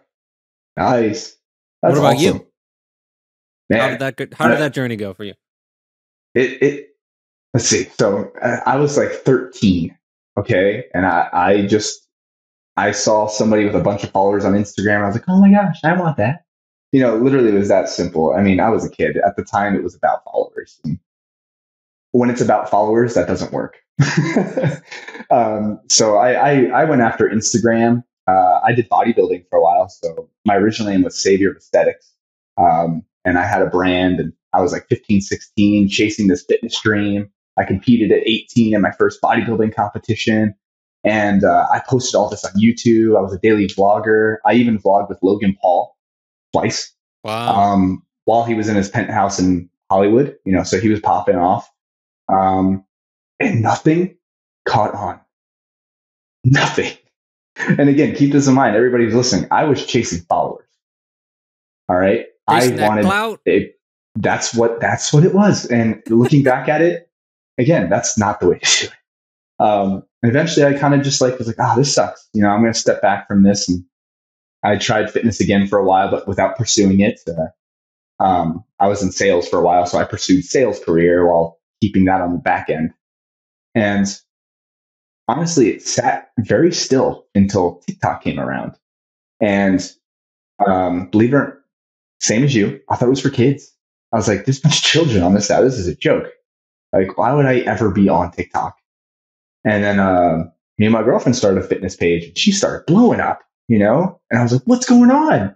She's getting tens of thousands of followers and I have like 200. what what is this? So I do have a failed TikTok out there if anybody finds it. Um, so I deleted that. I was like, you know what? Forget it. TikTok doesn't work. I tried. You know, I pulled that whole thing. And then, um, funny enough, I, I discovered the, the, the psychedelic world and it opened up my mind. I read the book, The Untethered Soul by Michael A. Singer, uh, opened up my mind. Um, and it was no longer about wanting followers. It was now about, wow, I, I feel like I need to make a bigger impact. And, and the thing is, by default, followers will come with that. But I need to start creating content that will make people strong, you know, empowered. I want people to feel good when they see my content. And so I decided to uh, make another TikTok and I started growing a beard at the time. And admittedly, I watched the show Vikings once and I was like, hmm, this is cool. So I'm going to be the TikTok Viking. And at that time when I started, I was the first Viking on TikTok, you know, um, and I started growing very quickly. First three months, I had 120K. Six months, I had 250K. A year, it went up to 350. And I was like, whoa, whoa. And it was the first time I ever wore plaid. Now I wear it all the time. I hated plaid, but it, it happened so fast that I was like, all right, well, that was the trick. You know, it, TikTok is the place to build the platform. And then from there, I had the same problem you had is, is I had all these followers on TikTok. And I was like, wow, this is crazy. But nothing's happening. you know, it's like I have 350,000 people and no substance. so I started creating my Instagram and started developing that. And I had a YouTube channel where I post every once in a while. Uh, but my main focus was building community. So I moved my community to Discord and I created a community of people where, you know, House of Vikinger, we talked about that earlier, where people come together and meet other people who are interested in pagan belief systems. And I call it the Pagan Hub, House Vikinger, you know? And uh, it's run by a team of like 15 people. Shout out to Elder Death Kim if she's watching. she's wonderful. Um, but it's just, that's how it all kind of started, you know? And here we are now where Instagram's starting to like really take off. They changed their algorithm and it's working incredibly well. But uh, it, the, the secret for me that really switched it was that I stopped chasing followers and start creating impact. You know, start providing. So instead of consuming, start producing. You know, and a lot of us are very heavy consumers. We are overweight in our mind with how much content we consume. So start being the producer of content instead of the consumer. And, you know, you can still go out and watch it and stuff, but producing it more and more is really what found what, what created that flow for me. And it took me about a year to go full time on, uh, on like as a content creator. It took about a year. And then I lived in a van and traveled in a van and do content like that for a while. Man, but, there's so much yeah, that I want to I want to get into from that.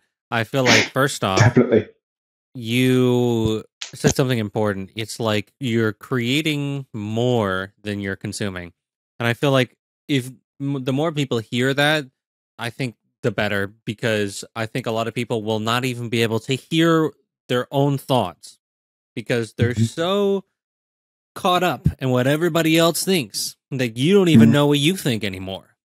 Yeah you know and so learning to understand that everybody is going to have an opinion about everything and they're all going to think differently a lot of the times there's going to be a, someone who dislikes what you do no matter what no matter what so you might as well do something that you enjoy or that you think is worth it like 100% like i found that for live streaming video games i still love video games but it wasn't something that was fulfilling for me in the long run, which is why I stopped doing it because I realized, hey, we've got the rest of my life.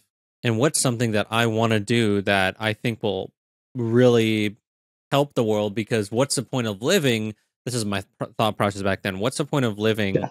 life if it's not going to be something that in the end will have some sort of impact? I don't care if people know me, and I still don't care if people know mm-hmm. who I am really what I care about is that it, in some way it's going to, like you said, you can't you can't teach people. You can make them think, or I Mhm. think that you can encourage them or give them the opportunity to think about something. And so Yes. I realized, well, what are people thinking about when I'm playing games? You know, maybe they're being entertained, and I think that might have a value. But in the end, I started to get more interested in other things, and like the things we're talking about now. And I felt Yeah. like this would provide way more value to people in terms of, and it would also be fulfilling for me. Yeah. And that, that's kind of where I transitioned from, you know, the fitness into. I thought that I wanted to help people with fitness, but then I realized, well, it's the mind. And then I just was kind of like rejecting the uh, the hero's journey. I was like, you know what? I'm done.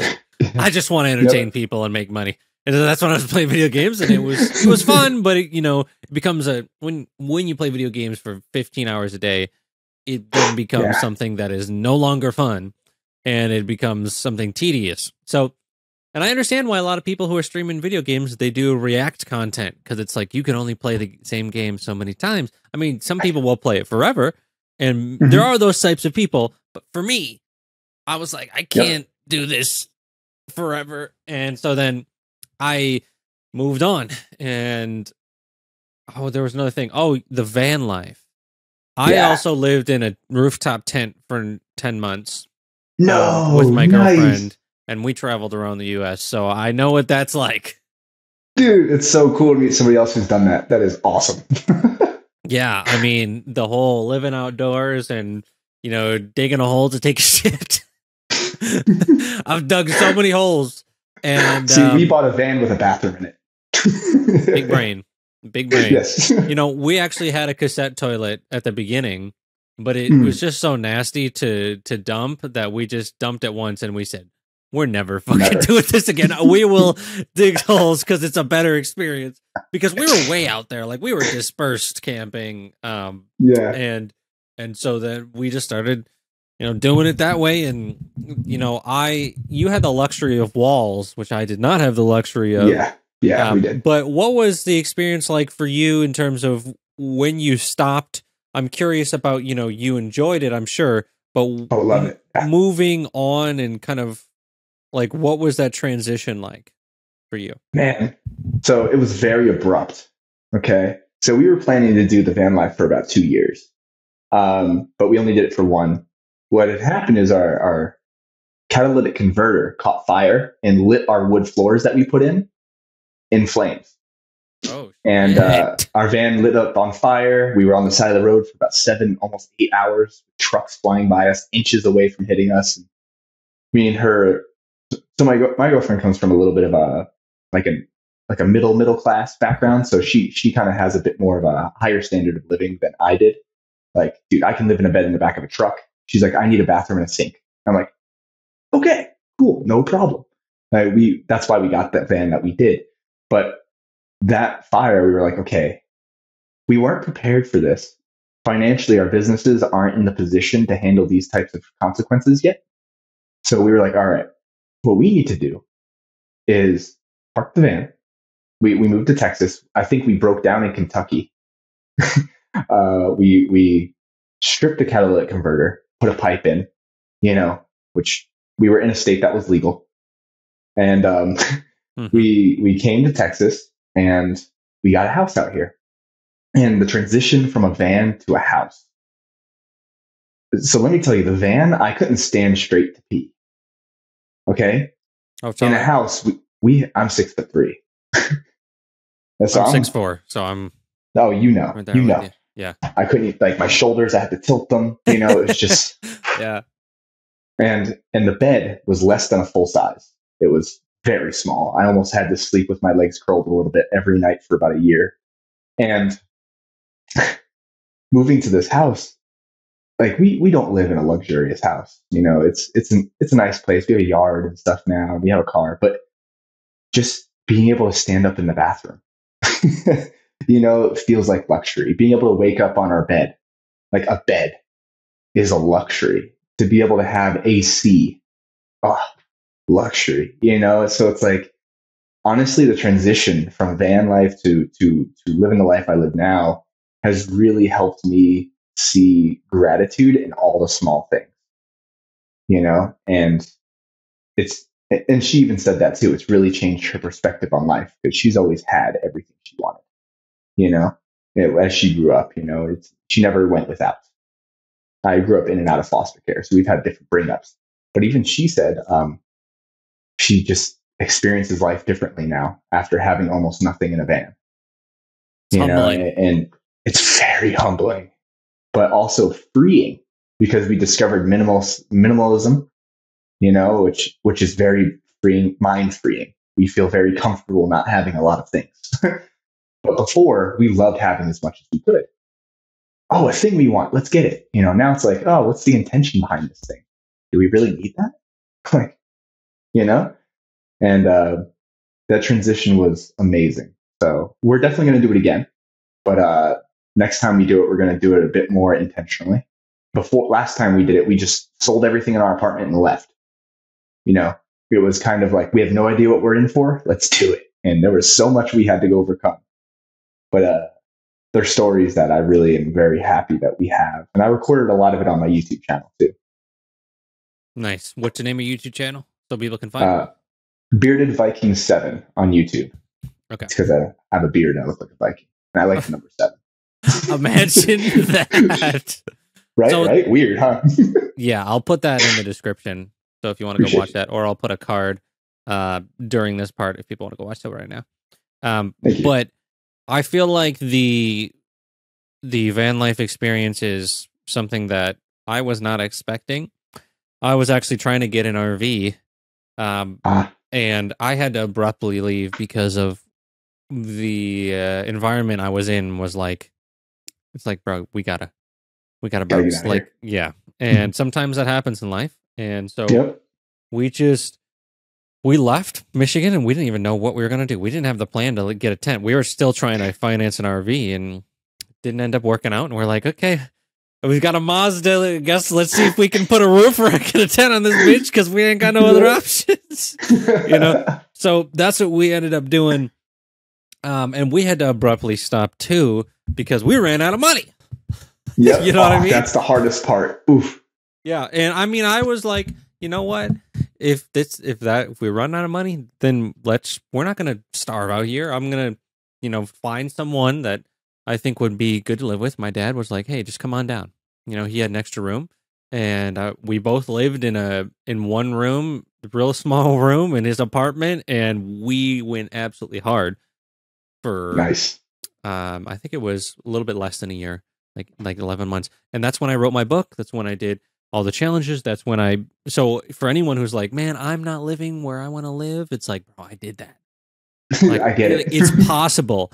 Like even though it seems like it sucks because you you- like sometimes you don't want people to hear you because it's your maybe it's your family your friends or you know and it's just like i've been in those situations where you feel like you can't really express yourself because you've got people around that are uh, so it's possible if you got to go into your car and get your ass into your car you got to go to the park film some videos do that shit like there There's are no ways shame. around it right don't don't don't shame yourself for it. It's the flow of life. You know, it's it's crazy, it. but it's part of it. Yeah, part of it.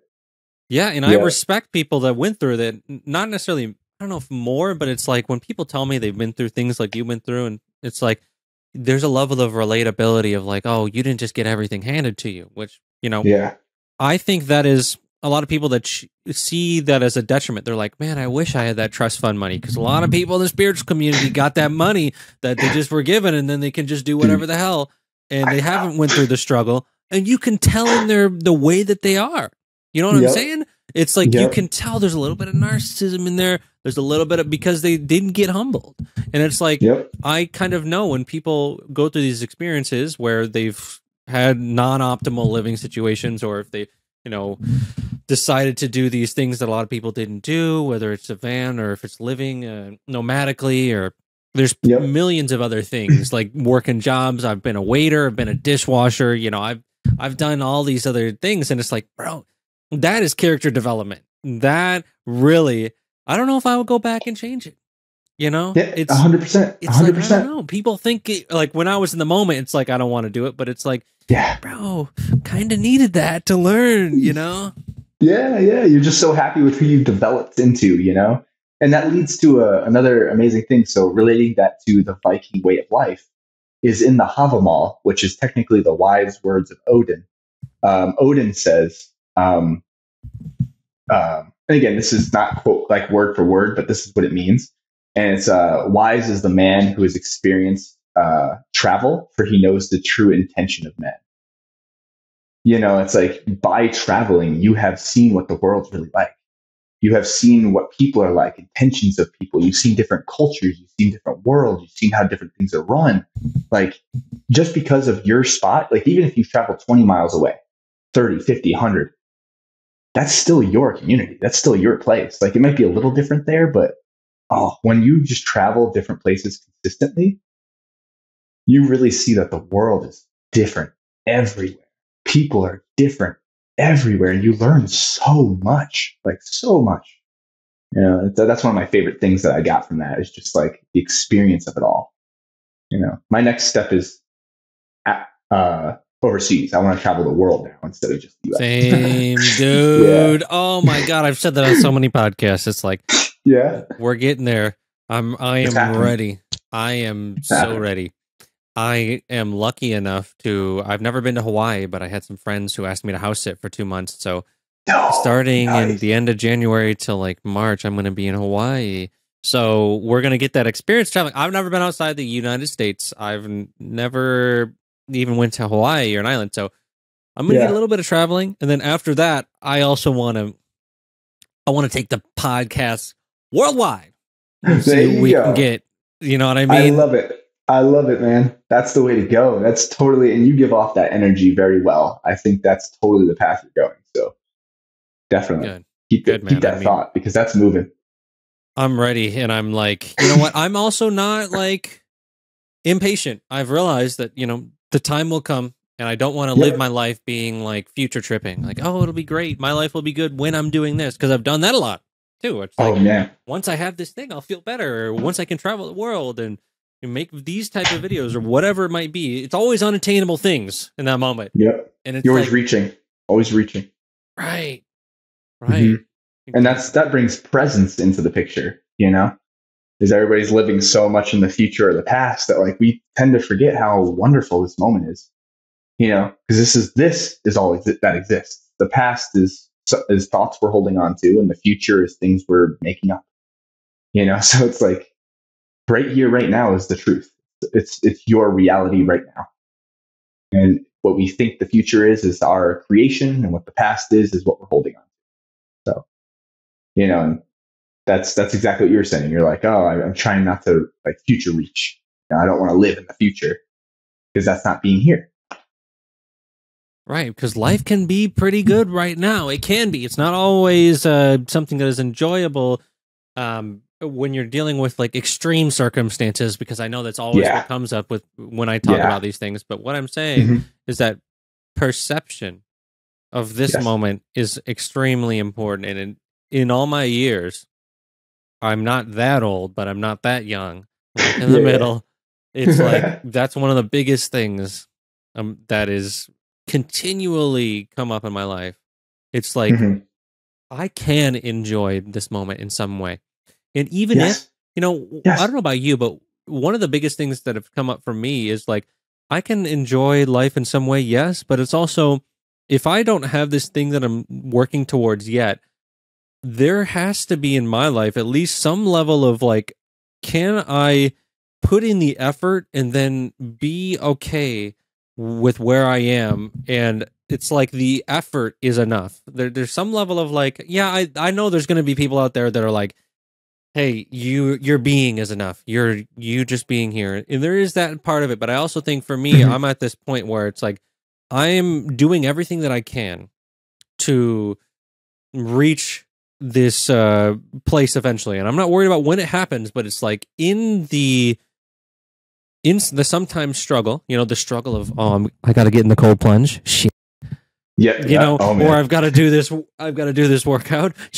And i don't really feel like it. Yep. in that i can generate a level of peace because i have decided to meditate or i've decided to do these things. It's like there is this subtle nuance of i can enjoy these things afterward, even though I might not enjoy it because I did it. It's like this long term, short term gratification. It's kind of a different way of saying that in a sense, you know? Mm-hmm, mm-hmm. So. Yeah. And it, it kind of comes from the, uh, the idea of like when people, a majority of people I run into when I say, uh, I, I meditate or I manifest my goals, it's like, oh, then where's the action? So you just sit there and wait for things to happen. And it's like putting in those efforts of meditation or like mindfulness or, you know, those personal practices help guide you to the how. You know, you by default start rolling into those, those, uh, those actions that are necessary. You know, people are so focused on, all right, I got to do this thing to get the satisfaction. It's like, okay, cool. Meditate on that. Oh, I'm not just going to sit around and like wait for it to happen. It's like, no, no, no. I'm not saying sit around wait. I'm saying if you can do that m- more mindfully, more intentionally, that's the right word, intentionally, you are now finding much more gratification or for lack, is that the right gratification? Yeah. Gra- yeah, gratification in that thing you're doing. You know, you are now m- consciously moving towards your goal instead of just doing an action because you think it's the right way to go. You know, and, and a lot of people are just doing what they think works. And it's like, have you ever read the Surrender Experiment by Michael A. Singer? I've heard of it. I haven't read it. Oh, I'm in the middle of reading it right now. It's an insane. So, um, the whole idea behind it is that life unravels itself around you, regardless if you do something about it or not. You're going to be presented with opportunities. You're going to be presented with these things. You just need to be there. Many people are worried about the future. They're holding on to the past. They're being a victim, usually holding on to past, you know, or they're stressed about the future to the point where they're not here. They're not present. You're not existing in this moment. So you're letting these opportunities fly right past you. You know, all you had to do was instead of sitting there and stressing about the future, you might have had to just listen to that person talk. And then you're like, oh, hey, I actually am a part of that too. Really? Oh, no way. Yeah. What do you do? Oh, I'm a CEO of this. Wait, what? Yeah. And then life just starts unraveling itself in front of you. Like things that don't make sense to you happen. You're like, what a freaking coincidence. Weird. You know, have you ever walked by a restaurant and in your head, you're like, man, I am just craving food, but I don't have the money right now. And then all of a sudden, like something comes up to where you're able to get a meal for free. I don't know if you've ever had that happen, but that manifests itself into my life constantly. And I'm just like, weird. You know, I just accepted the fact that I'm hungry. I wasn't mad about it. I'm not angry. I'm not stressed. I'm not pissed. I'm just accepting, hmm, I'm kind of hungry. It'd be nice to have a meal right now. I don't have the money currently with me, but I could eat. Most of the time, life just presents it to you. And if the opportunity is there and you like it, take it. Or in the surrender experiment, what he does is when it, when opportunities are presented to him and his mind says no, he realizes that's ego, his thoughts. His thoughts are trying to defend his victim mentality. So instead of accepting what his thoughts are saying, he'll accept the opportunity because life presented it. You know, and it leads him to making hundreds of millions of dollars. And all he wants is to sit alone and meditate and he's he makes hundreds of millions of dollars with three or four or five different businesses that just unfold themselves in front of him because he surrenders to life. You know, it, I'm gonna need that book. Yeah, you, oh, dude, it's. I'm sitting there, I'm like, wow, wow, you know, and, and you'll see it unfold in your life as you start kind of adapting the process for yourself. Like things just, you're like, huh, I never realized I had that thought about this thing I'm going to ignore that thought and do this. And it, it, explains it better in the book. But it's like when you do that, literally life unfolds itself in front of you in the weirdest way. And I'm like, all right, cool. You know, I was stressed about, just for example, I was stressed about money the other day. And there was this one thing I was holding on to because my friend had like told me, you know, me and him have a lot of talks like this. And he told me, he's like, hey, you're punishing yourself for no You should just do that. And I'm like, ah. And my head was like, no, punish it. Like, you shouldn't. Da, da, da, And then I was like, "Hmm, there's a reason he told me this. And I did it. And it solved my problem. I was like, what? like that was so strange, but it was immediate. Like immediate. And there, those are the types of results you almost can't deny, you know? So, Wow. yeah, I get passionate about this stuff. I love this because I only like to talk about what I've seen work, uh, because I, or something that I'm currently practicing, you know, or I've looked into. And if I haven't, I, I like to admit it. Like, hey, honestly, I haven't thought about. Or I, I, honestly, I'm not educated in that field. You know, I'll tell people those things. But when I talk about this, it's because I usually practice it, you know? And I bet that's what a lot of people like about you, man, is that you're you have the ability to understand, hey, there's stuff I don't know, instead of trying to like make it up. And then people that. can people can like say, Yeah, that's bullshit. Because you know, there's enough there's enough people a lot of times, you know, Yeah. that are like able to think, you know, they have some knowledge and and so I really appreciate when someone can say, I don't know. You know, like uh I also Mhm. started the podcast. I was like, I don't know a lot about paganism. Like, I have don't no know. idea what's going on here. right. But I know that I was interested in learning about it. And you know, I'm yeah. I'm just so happy that I got to have you come on, man, and uh, talk about so many different things. I don't know what the hell I we're going to name too. this podcast. yeah, right. It's, it's just I love it. I, I think those Yeah. episodes are the best because it's it's not uh so. This is what it is, and it's kind of in this box. So I, I appreciate you coming on, man. I appreciate the invite, man. I, when I came across your uh, your content, I very much resonated with your messages. So I was like, when you invited me, I was like, this is perfect. like this is awesome. Yeah, I think it was great, fantastic, and um, I've got two more questions for you then. Oh, go right ahead. So, first question would be Have you noticed any aspects of this reality might be a game? And if so, what have you noticed? Hmm. So let's see. Yes, I do think this reality is is a game, kind of the same way that when you're playing a video game and you realize there's a button you weren't using, that makes things so much easier. Um, so explore your controller and find the buttons you haven't pressed, because a lot of the times there's a cheat code in there you didn't know you had. And that's how the universe feels like a game. You can almost walk into a situation and be like, what aspect of me complements this situation? And if you realize you can bring that self, that self into that environment, a lot of the times you can watch the environment unfold in almost a predictable way. You know? And if you're faced with adversity and problems and constant bombardment of like hard things, for lack of better word, realize that that means the game is progressing. Have you ever walked backwards in a video game? All the enemies are gone. There's no challenges. But when you're moving forward, all the enemies and challenges are ahead of you. Realize that's progression of the game. And that's, that's definitely how I could see this reality be. Fantastic, man. And Thank you. so then the final question I have for you is let's say that the old ancestors were, you know, watching, like you said, they were pleased and they said, you know what? All right, man, I think you've done enough. Uh, we're going to take you. Uh, we're going to take you to the future. And um, that's going to be it. Okay. You can't come back. And uh, you're actually from the future. Oh, shit. You just learned that out of nowhere.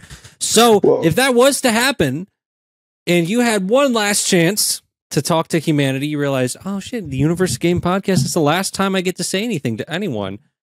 What do you think you would want to leave humanity with? It could be a sentence, it could be a quote, it could be a uh, a thesis, it could be a whole paragraph, it could be a page.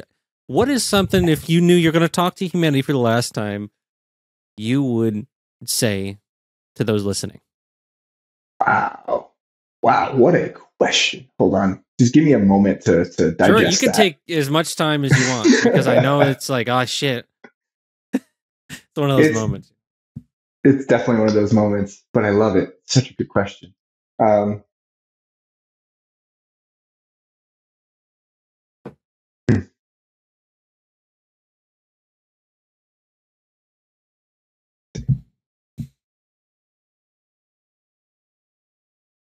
there's there's one one quote I can't and again I'm the worst at quoting people so I apologize. There's this one there's this one quote that always comes up in my head and it just left. One moment. That's okay, man. I mean, you, you can do it, whatever, I'm gonna say whatever it. you want. Here we are. All right. So there's this one thing that I'm sure a lot of people have heard, but it really, really resonates is that all of us are self made, but only the successful will admit it. So I, I want people to remember that we all, are, as much as it might hurt to hear is we have all done this to ourselves. Wherever you are, whether you're super successful, whether you're in the in the in the pits, it's like realize that. And again, you, most of our victim mentalities are going to tell us, no, no, no, I didn't do this. They did. And hey, we all have that thought. Don't worry. Realize first that changing yourself is truthfully the key. You can't force people to change, but you know who you can change without a doubt? It's you. So that's that's where I would leave it right there. Sure. There it is, man. All right. Yep. Where can people find you? Oh man, you can find me on TikTok at Bearded Viking Seven, Instagram at the Bearded Viking, and you can find me on YouTube at Bearded Viking Seven. Uh, and I would love to see you guys there. Seriously. All right, fantastic. I'll have all the links in the description again for all your stuff, all the stuff Thank you're you, doing. And um, yeah, check it out. Check out what he's got going on. I know you've got a lot of stuff. So if you've got a link tree Oh, yeah. or something like that, or however you share your links, we'll Oh, yeah. also put that. Link in my bio. Hey, Perfect. that'll work. All right. Well, thanks again for All coming right. on, man. It was it was fantastic. Thank you, Nick. It was an incredible conversation, and uh, man, I I will definitely be listening to this over and over in my head until it's released. And I'll probably watch it too. Such a good thing. Hey, let's go, man.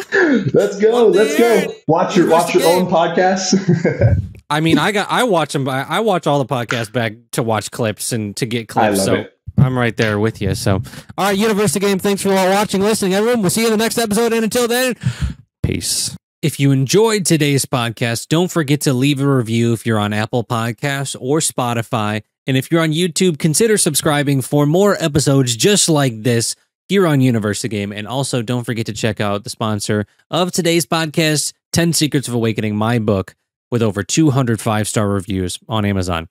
And if you just want to listen to more podcasts, hey, we've got plenty right here. Check out the Universe the Game playlist, and I will see you on the next podcast. And until then, peace.